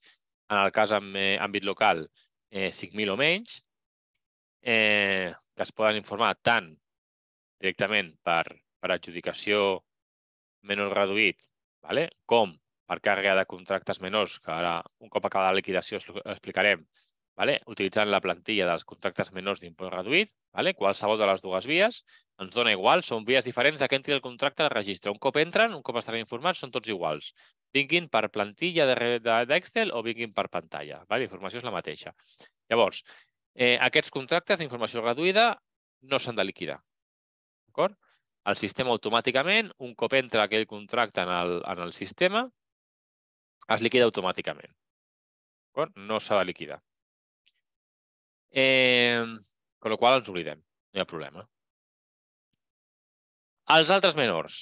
Vale? Els altres menors tenim eh, dos vies per liquidar-los. Una, si eh, els, els carreguem amb la plantilla massiva d'Excel, de, vale? veurem que en aquesta plantilla hi ha dos columnes al final que fan referència a la liquidació. Vale? Hi ha dues columnes per informar eh, la data de liquidació i l'import liquidat. Llavors, aquestes dues columnes són optatives. No és obligatori informar-les, però si les emplenem, al carregar la plantilla, aquests contractes menors es carregaran ja liquidats. Amb la qual si a l'hora de fer nosaltres la càrrega d'aquests contractes menors, nosaltres ja sabem eh, la data de liquidació i l'import de liquidació d'aquell contracte i la informem a la plantilla, eh, no caldrà fer a posteriori la, la liquidació d'aquell contracte. Vale? L'altra forma, vale? l'altra forma per, per liquidar els, els contractes menors és l'apartat que tenim aquí, a sota de liquidació, de liquidació massiva de contractes menors. Vale? Vale, en aquest apartat,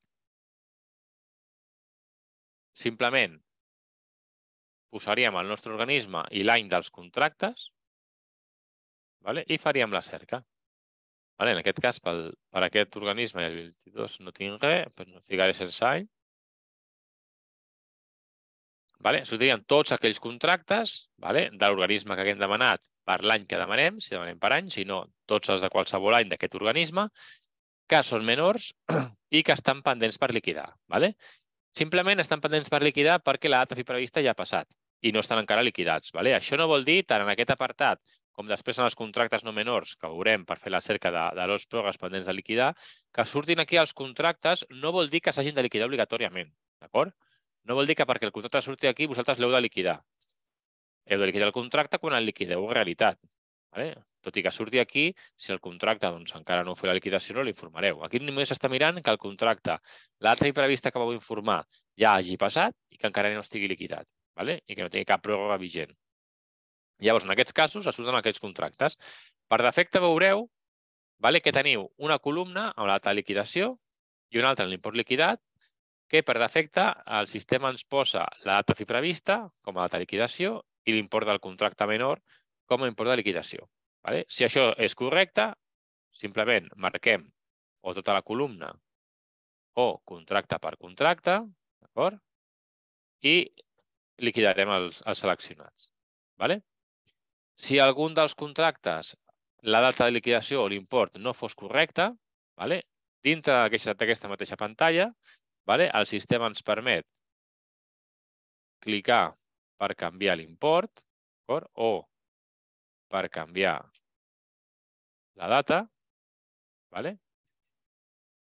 Vale? I dintre d'aquesta mateixa pantalla, sense canviar de pantalla, un cop estiguin modificats les dades que no són correctes d'aquells contractes, podem marcar i liquidar-los igualment.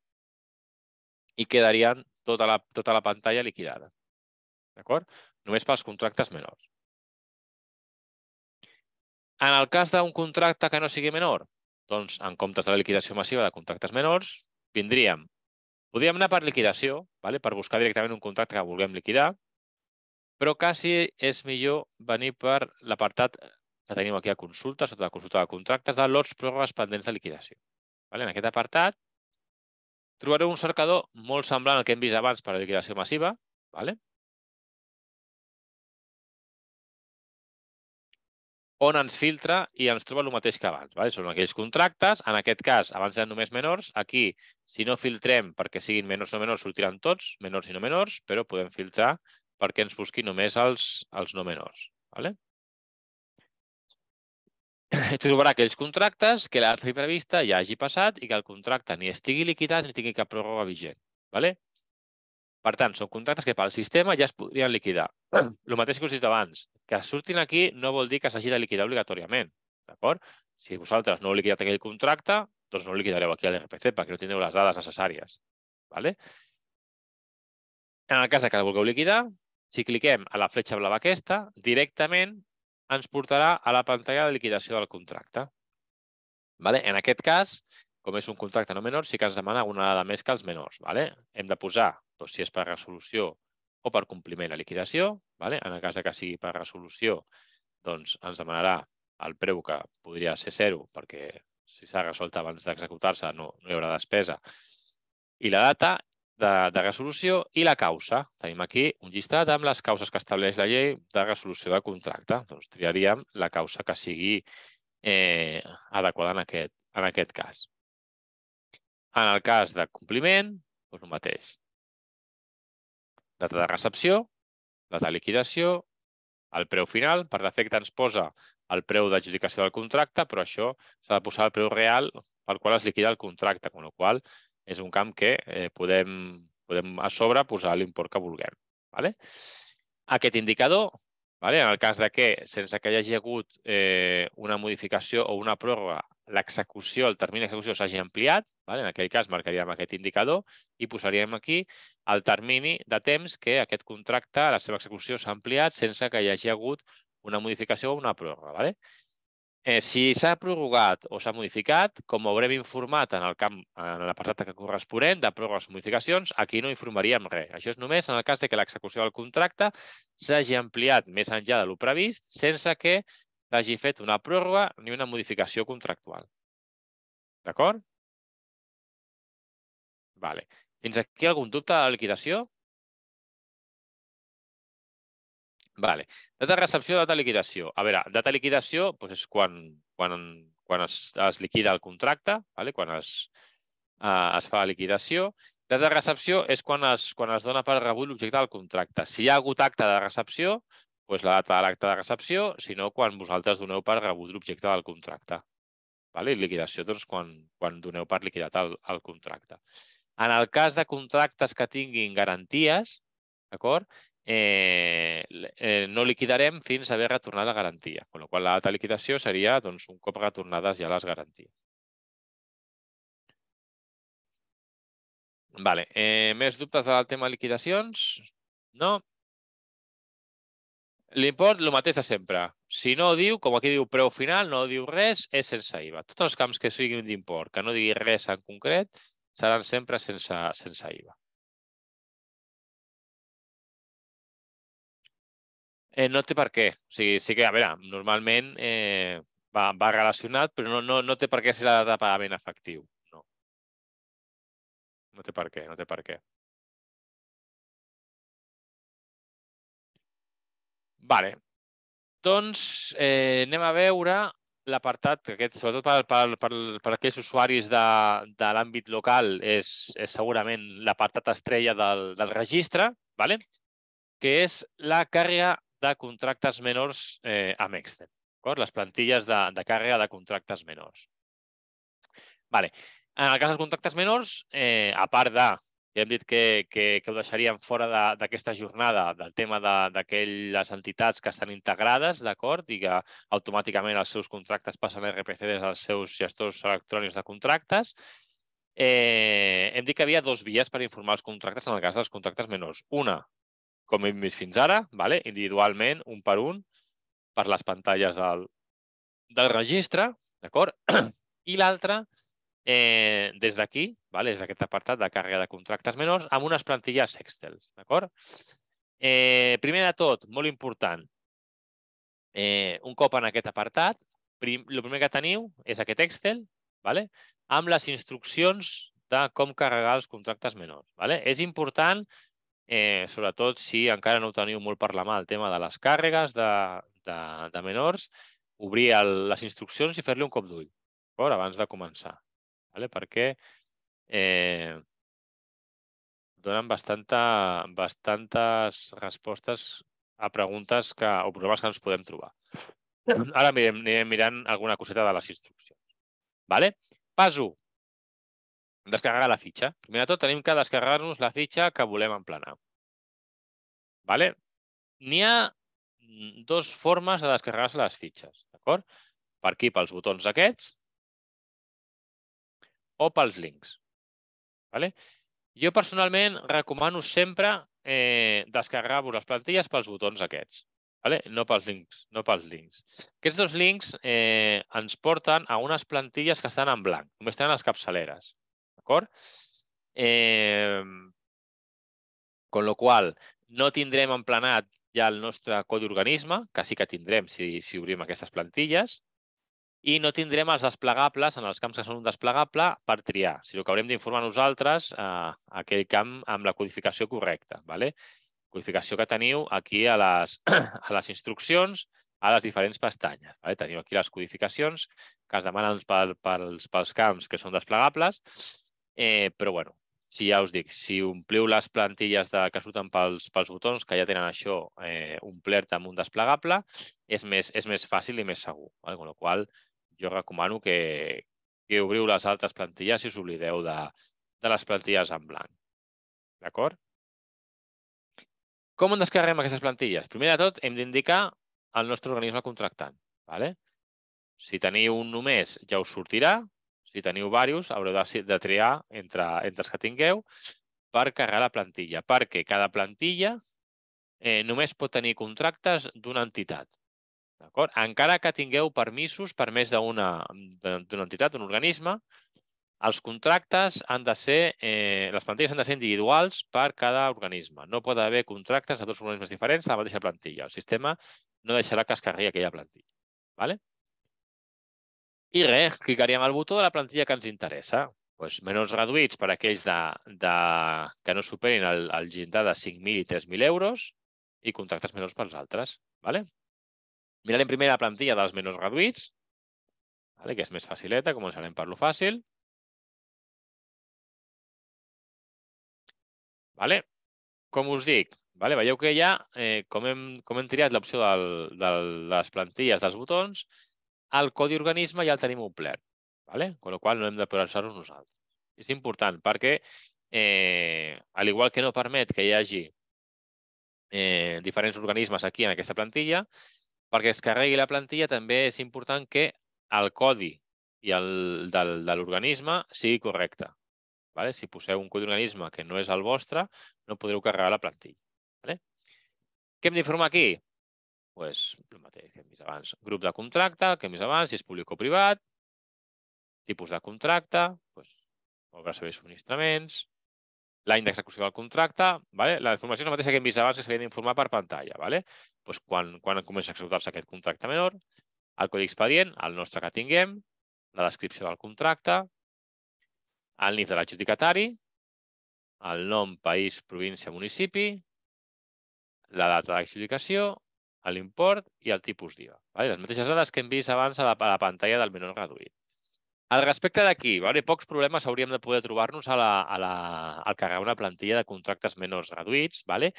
L'únic problema mmm, més o menys habitual que, que sí que trobo que, que, que hi ha al, al fer aquestes càrregues de menors reduïts és el tema del municipi, de l'adjudicatari.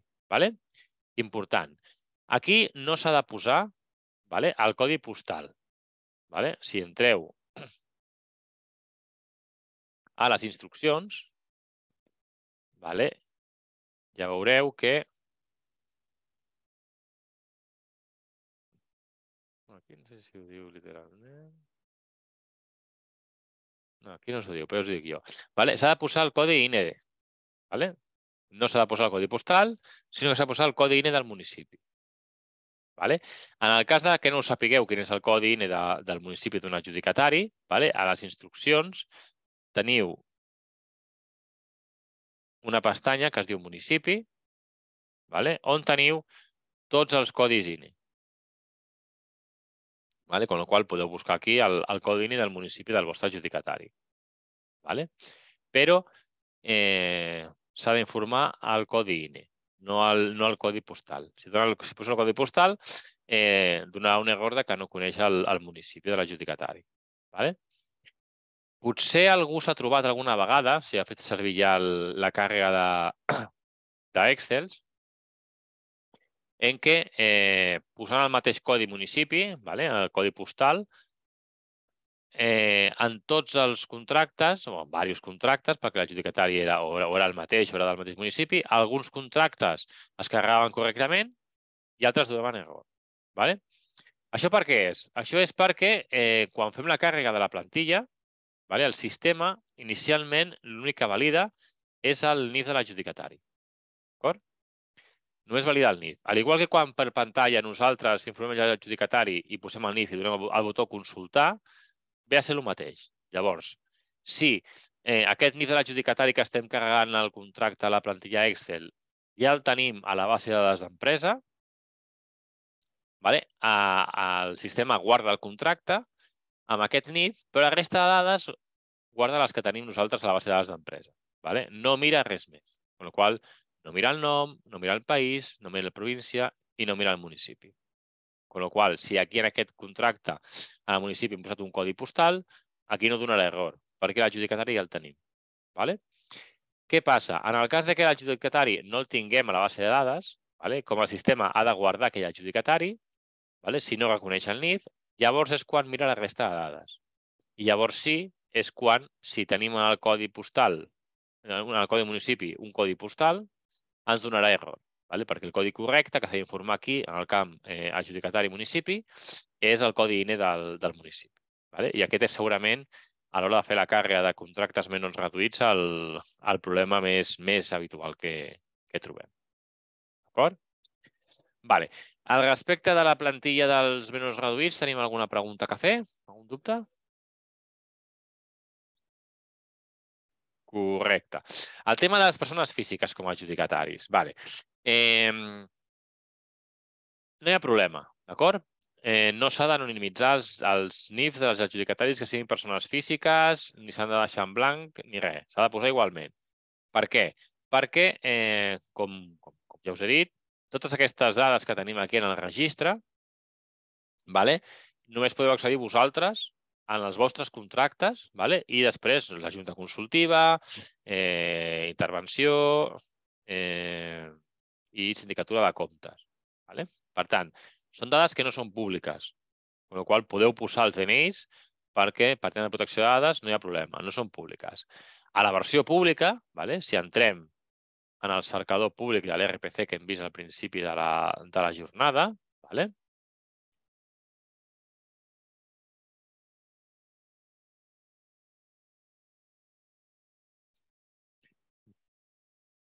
un cop dintre, sí que si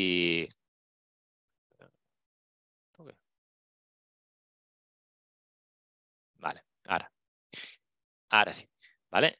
Eh, en, sí que podeu filtrar vale? si, si, si alguna persona sapigués eh, el, el NIF d'una empresa o d'una persona com a, per buscar els seus contactes, sí que es podria fer la cerca vale? per, eh, per NIF del, de l'adjudicatari del contracte. Vale? Però en els resultats dels, de les dades que es cerquen, vale?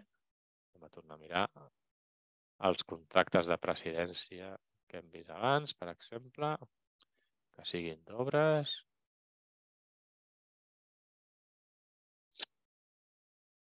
D'acord? Entre les dades que es donen en els contractes, sí que surt el nom de l'adjudicatari, vale? però no es dona el seu NIP, tant si és persona física com si és una empresa. Vale? Independentment de, de que sigui una cosa o l'altra. Ara seran totes empreses, però bueno. Ja us dic, mira, aquí tenim una persona. Ja, ja, ja em, em, em podeu creure que no, no surt el NIP. Vale? Aquí no surt i si entrem dintre del contracte en concret, vale? a les dades aquestes, vale?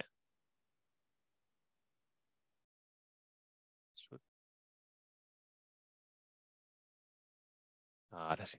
Estava tonto avui, això, eh? Tampoc surt el, el, el DNI de la persona. Vale? Només surt el, el nom.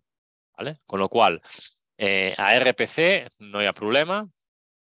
Eh, podeu posar, el, de fet, heu de posar el, el NIF de la, de la persona sencer, sense asteriscos, sense res, vale? perquè no, són, no és una dada que es faci pública. Ojo, vigilar.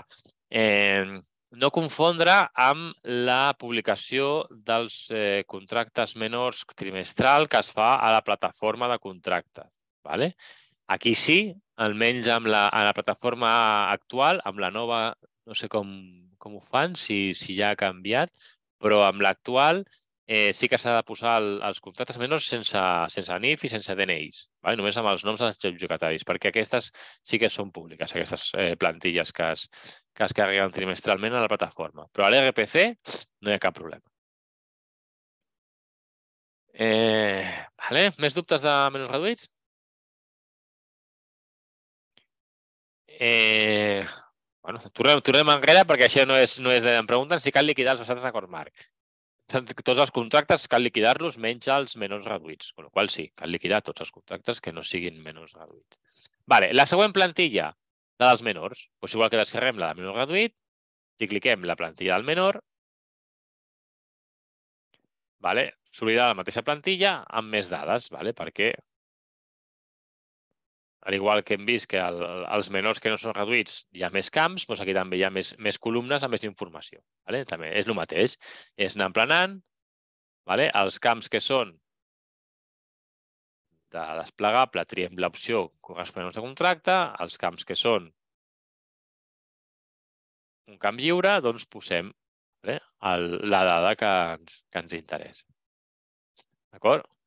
Un cop tinguem les plantilles eh, omplertes, vale? pas 2, què s'ha de fer? Carregar la plantilla. Vale? Venim aquí on, on ens indica pas 2. Direm quin tipus de plantilla tenim que carregar, si és una plantilla menor o menor reduïda. I amb aquest botó buscaríem la nostra plantilla per carregar-la. Vale? Veieu que tenim aquí un altre check que és l'indicador de càrrega amb tramesa o sense tramesa a la Junta Consultiva.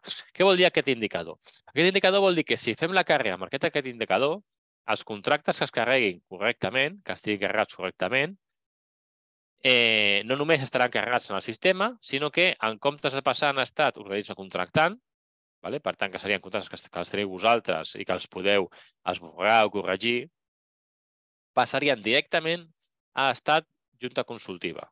¿Vale? es trametrien directament, amb la qual automàticament ja els tindríem nosaltres per validar-los. ¿vale? Això vol dir que no faria falta que anéssiu a tramesa per trametre aquests contractes. Automàticament es carregarien ja tramesos. ¿vale? Eh, en quins casos pot ser interessant eh, no marcar aquest indicador de càrrega amb tramesa per si de cas. A veure, us comento. Eh, quan fem la càrrega d'una plantilla, vale? fem la càrrega, carreguem la plantilla, vale? aquí a sota tindrem el que anomenem el resultat de les càrregues. Vale? Aquí tenim quan s'ha fet la càrrega, quin organisme, quin tipus de plantilla era, si era menor o menor reduïda, el fitxer mateix que s'ha carregat, si s'ha fet en el moment la càrrega o està, està carregant-se, el resultat, vale? Si ha sigut amb errors o ha sigut correcte, i un informe de resultat i un informe d'errors. Llavors, eh, en el cas de que la càrrega sigui correcta, vale? què vol dir això? Que tots els contractes d'aquell Excel, vale? tots els contractes d'aquella plantilla, són correctes i s'han carregat correctament. Vale? Per tant, no tenim informe d'errors, vale? aquí ens diu que el resultat ha sigut correcte i només tenim un informe de resultat, vale? que és eh, la mateixa plantilla que hem carregat nosaltres,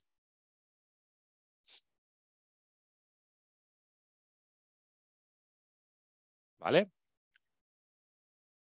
amb un camp al final que es diu identificador amb el número de registre d'aquell contracte. Vale? Això ens indica que aquell contracte està carregat perquè ja té número de registre, amb el qual podríem buscar-lo, o per codi d'expedient si volguéssim. Vale? Per tant, no hi ha problema. El contracte està carregat, tota la plantilla és correcta. Vale? Si, la, si la càrrega és correcta, no hi, ha, no hi ha cap dubte, no hi ha cap problema, no hi ha cap misteri. Què pot passar? Que la plantilla tingui, es carregui amb errors. Vale? En aquest cas, en el cas de que sigui amb errors i no hi hagi informe de resultat, vale? que no tinguem informe de resultat, què vol dir? Vol dir que tots els contractes d'aquella plantilla estaven malament. Vale? Tots estaven aquí amb algun error. Per tant, tenim un informe d'errors on veuríem, vale? si descarreguem l'informe d'errors, veuríem, eh, mirant el codi expedient que li hem donat en aquell contracte, vale? per cada contracte del seu codi expedient, quin error li ha trobat el sistema, vale?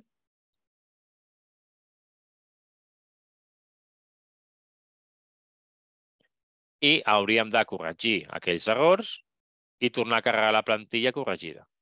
D'acord? I en principi hauria de ser ja correcte. Vale? Tampoc eh, dona més problemàtica això. Eh, on tindríem el problema amb les trameses? Vale? En el cas que la nostra càrrega fos com aquesta primera d'aquí. Vale?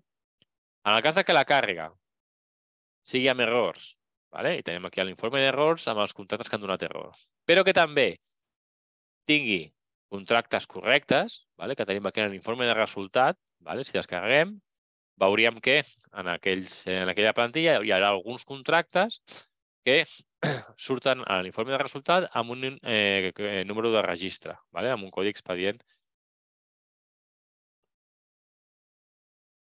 Vale? Llavors, d'aquesta plantilla, aquest contracte, vale? que té número de registre, té identificador, s'hauria carregat correctament.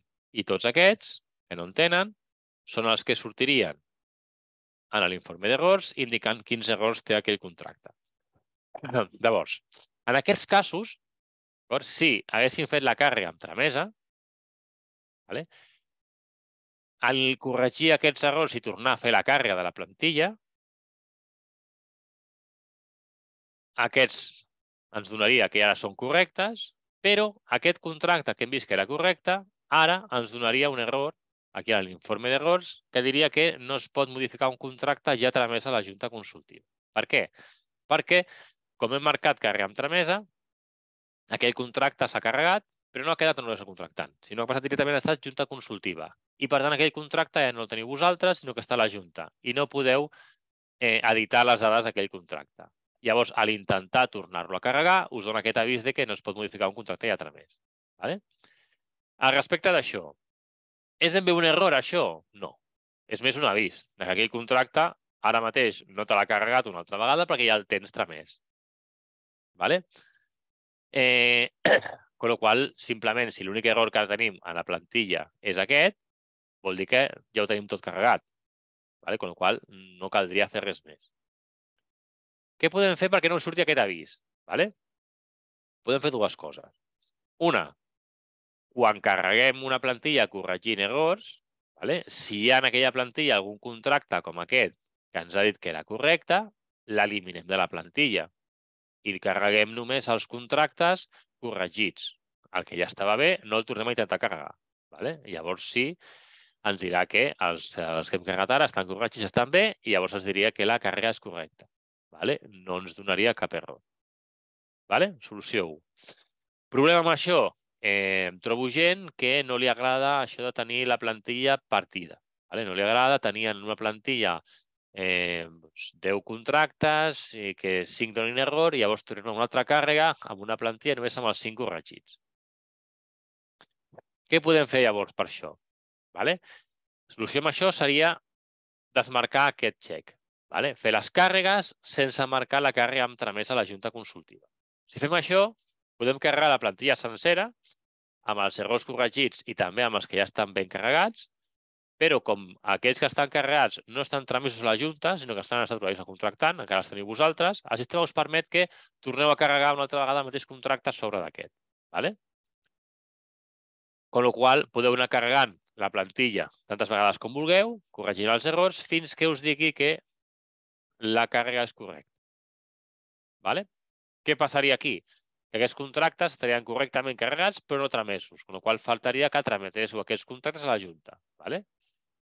Podríeu anar aquí a tramesa, ¿vale? buscar els contractes i marcar-los. ¿vale? Si són pocs, doncs segurament és el és el més fàcil, ¿vale? però clar, segons quines plantilles, ¿vale? les plantilles, eh, el màxim que permet perquè la càrrega sigui instantània són 200 files, però eh, el límit màxim de, de la plantilla són 5.000 files. ¿vale? Con lo qual, si tu tens carregats 5.000 contractes, si tens que anar a tramesa, a fer la tramesa, molt, encara que sigui pantalla per pantalla, que són 25 files cada pantalla, doncs ha estat una bona estona eh, carregant pantalles. ¿vale? Per tant, si no ens interessa anar a tramesa per trametre aquells contractes, què podem fer? Com ja tenim la plantilla, que sabem que és correcta, vale? perquè ja ens ha donat un missatge de plantilla correcta, vale? tornem a carregar una última vegada aquesta plantilla, que ja sabem que és correcta, però ara la carreguem marcant el xec de càrrega amb tramès a la Junta Consultiva. Vale? I llavors ja tindrem tota la plantilla correcta, sencera tots els contractes de la plantilla i amb els contractes carregats a la Junta. D'acord? Vale. Eh... Preguntes al respecte de, de la càrrega d'Excel? No? Està tot clar? El tema càrrega d'Excel? Sí? Vale. Eh, vinga. Eh, no, però quasi. No, però quasi. Vale? El tema dels camps obligatoris. Vale? Eh, A les instruccions vale, ja us posa quins camps són obligatoris i quins no. Vale? Ja us aviso, eh, les plantilles s'han intentat eh, fer el més curtes possibles. Vale? Per tant, eh, tot el que hi ha, pràcticament tot eh, és obligatori. Vale? En la plantilla de contractes menors, eh, reduïts, en la, en, la, en la petita, diguem, en la, en la de menys de 5.000 o 3.000 euros, tots els, tots els eh... Espera, aquesta, aquesta és la de menors. Vale? En la de reduïts, tots els, tots els camps són obligatoris, vale? perquè tot el que hi ha és obligatori. En, en la de menors no reduïts sí que hi ha algun que no és obligatori. Per exemple, quins no són obligatoris? Els que us he parlat abans, vale? de, la, de la liquidació, de liquidació, import de liquidació, són optatius. Vale? Es poden deixar en blanc vale? o els podeu informar si teniu aquesta informació. Vale? Si ja sabeu aquest contracte, quan s'ha liquidat i per quin import. Vale? Eh, dintre la mateixa plantilla podeu tenir algun contracte amb aquests camps informats i altres no. Vale? Us deixa. El que no us deixa és informar un camp i la eh, liquida, data liquidació i no import o import i no data. Si informeu una columna, per, per cada contracte s'ha d'informar també l'altre. Vale? Però són optatives, no s'han d'informar. Al respecte dels imports, vale? aquí sí que els tenim amb i sense IVA i tenim també el tipus d'IVA. Vale? Aquí, per exemple, si informem els imports amb IVA i sense IVA, no cal posar el tipus d'IVA. Si informem el, els imports sense IVA i posem l'IVA, no cal informar els imports amb IVA. En els terminis els tenim també, tenim terminis i i fi d'execució. Funciona igual del que hem parlat per pantalla. Podem informar-ho tot, però llavors s'ha de quadrar. ¿vale? Con lo qual, és més pràctic posar data inici i data fi i deixar en blanc el termini o posar data inici i el termini i deixar en blanc la data fi. ¿vale? Con lo qual, bueno, això sí, si ho deixem en blanc el termini és en blanc, no zero, eh? perquè si posem un zero, la màquina pensarà que esteu posant zero termini i si no quadra amb la data inicial de fi donarà error. ¿vale? Eh, tot això és obligatori. Vale. Optatius. Més que optatius, eh, tenen, tenen certes validacions. Vale? El camp tipus de subministrament i el camp modalitat de determinació de preus. Vale? eh, són obligatoris, però només en contractes de subministraments, el tipus de subministraments, i en contractes de serveis, la modalitat de determinació de preus. Per tant, si el contracte és a una obra, hauran d'estar els dos en blanc. ¿vale? Si és un subministrament, només haurà d'estar informat el tipus de subministrament. I si és un servei, només ha d'estar informat el camp modalitat de determinació de preus. D'acord? I ja està, la resta de camps són, són tots obligatoris.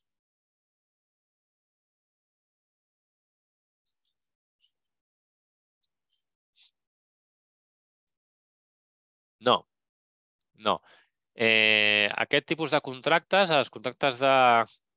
que hem vist que eren eh, que es trameten com a contractes menors, però la llei estableix que, que poden ampliar el seu, el seu llindar, eh, no són considerats com a contractes menors vale? en, el, en el registre, sinó com a adjudicacions directes. Vale? Recordeu que hem, hem afegit un, un nou procediment d'adjudicació vale? i en aquests casos s'ha d'informar eh, el contracte indicant, en comptes de menor, adjudicació directa no menor i indicant el tipus d'adjudicació directa no menor que és. En aquest cas, eh, subscripcions a bases de dades i, i publicacions. D'acord?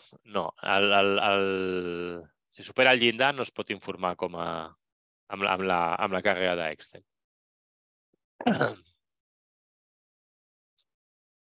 Vale.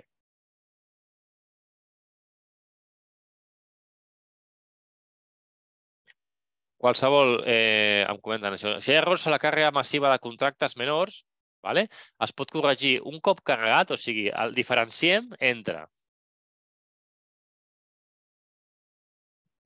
si tenim un error a la càrrega, vale? i ens surt aquí a l'informe d'error, aquell contracte eh, no és que estigui carregat amb un error, és que no està carregat. Vale? Només estan carregats els contractes que ens diu aquí que són correctes i que tenen número de registre. Si surt aquí amb un error, fins que no corregim aquest error que ens diu aquí, no el carregarem. Vale? Con la qual Eh, una cosa és això. Una altra cosa és un contracte que s'ha carregat amb una, amb una càrrega massiva i ha sigut correctament la càrrega, ¿vale?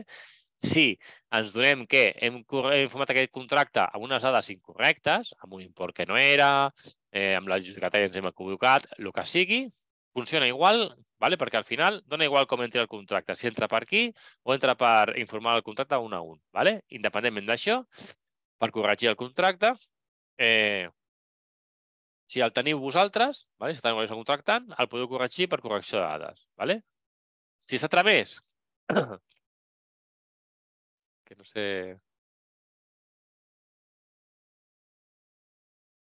Ah, està quedant sense, sense això.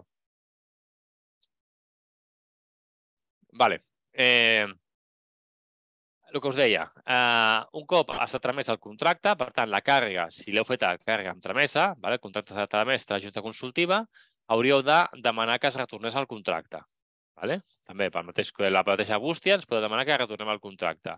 Un cop el retornem, vosaltres, per correcció de dades, podreu accedir en aquell contracte i corregir-ho. D'acord? Si el contracte estigués validat, vale? llavors sí que s'hauria de fer una petició eh, a la Junta Consultiva perquè retornéssim el contracte. Vale? Això, aquí a la, a la web teniu com s'ha de fer, vale? si no, ens feu un correu ja us diríem. Vale? Però si no, a la, a la web que us he dit de la contractació pública teniu com s'hauria de fer la, la petició per, per poder corregir un contracte ja validat. Vale? Bàsicament, si sou d'àmbit Generalitat, hauria de fer una evalisa i si sou d'àmbit local, una tramesa genèrica d'EACAT indicant que en l'àmbit de la tramesa, de la genèrica, indicant eh, públic de contractes i dient doncs, el, el contracte que es vol retornar, doncs, quin, quin número de registre, quin codi expedient té i que el voleu que el, que el retornem per poder-ho corregir. Vinga, més preguntes del que sigui ara ja. Ara ja, qualsevol pregunta que tingueu, que ja estem fora de temps, eh, no es, no es poden eliminar. ¿vale? eh, els històrics de les càrregues s'eliminen sols. Vale? Aquí en, en l'històric de càrregues vale? teniu els últims... Eh, vale? Jo tinc els últims 15. Vosaltres crec que surten 180 dies, em sembla que teniu vosaltres al, en l'històric. Vale? Eh, són les càrregues que s'han fet. Vale? Eh, és, és, una, és una eina de consulta perquè vosaltres pugueu mirar doncs, eh, quines càrregues heu fet, amb quines dates, si la càrrega ha anat bé o malament i, i si s'ha de corregir alguna cosa. ¿vale? I llavors, eh, conforme passa el temps, es van esborrant automàticament. ¿vale? Però vosaltres no podeu eliminar una càrrega que heu fet. Més preguntes?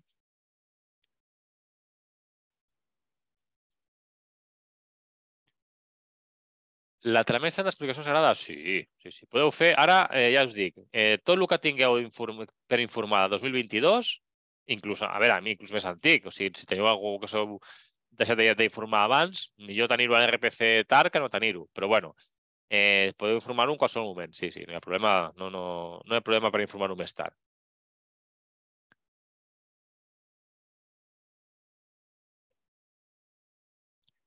Vale, els contractes en estat junta consultiva, quant de temps poden estar eh, fins que es validen? Depèn.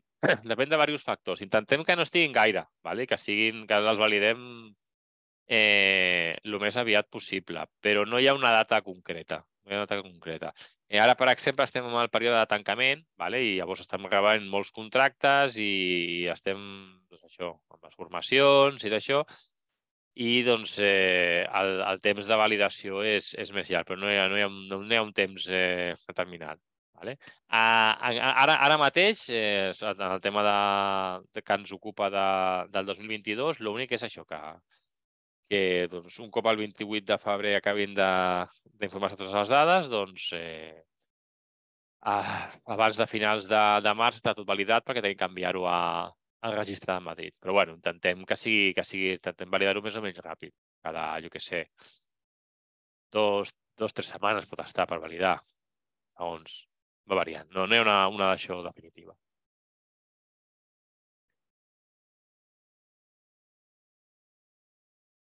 Més preguntes? La gent ja, ja, ja es va acomiadant la gent, veig. Sí, és que anem, anem una mica tard. Bueno, pues, eh, si no arriba cap pregunta així a última hora, eh, gràcies a tots per, per venir aquí a, a la jornada d'usuaris eh, inicials de registre. Eh, espero que, que us hagi sigut útil i, i això, qualsevol dubte que tingueu amb el registre, doncs teniu aquí el, la bústia i ens podeu fer la consulta en qualsevol moment. Vale?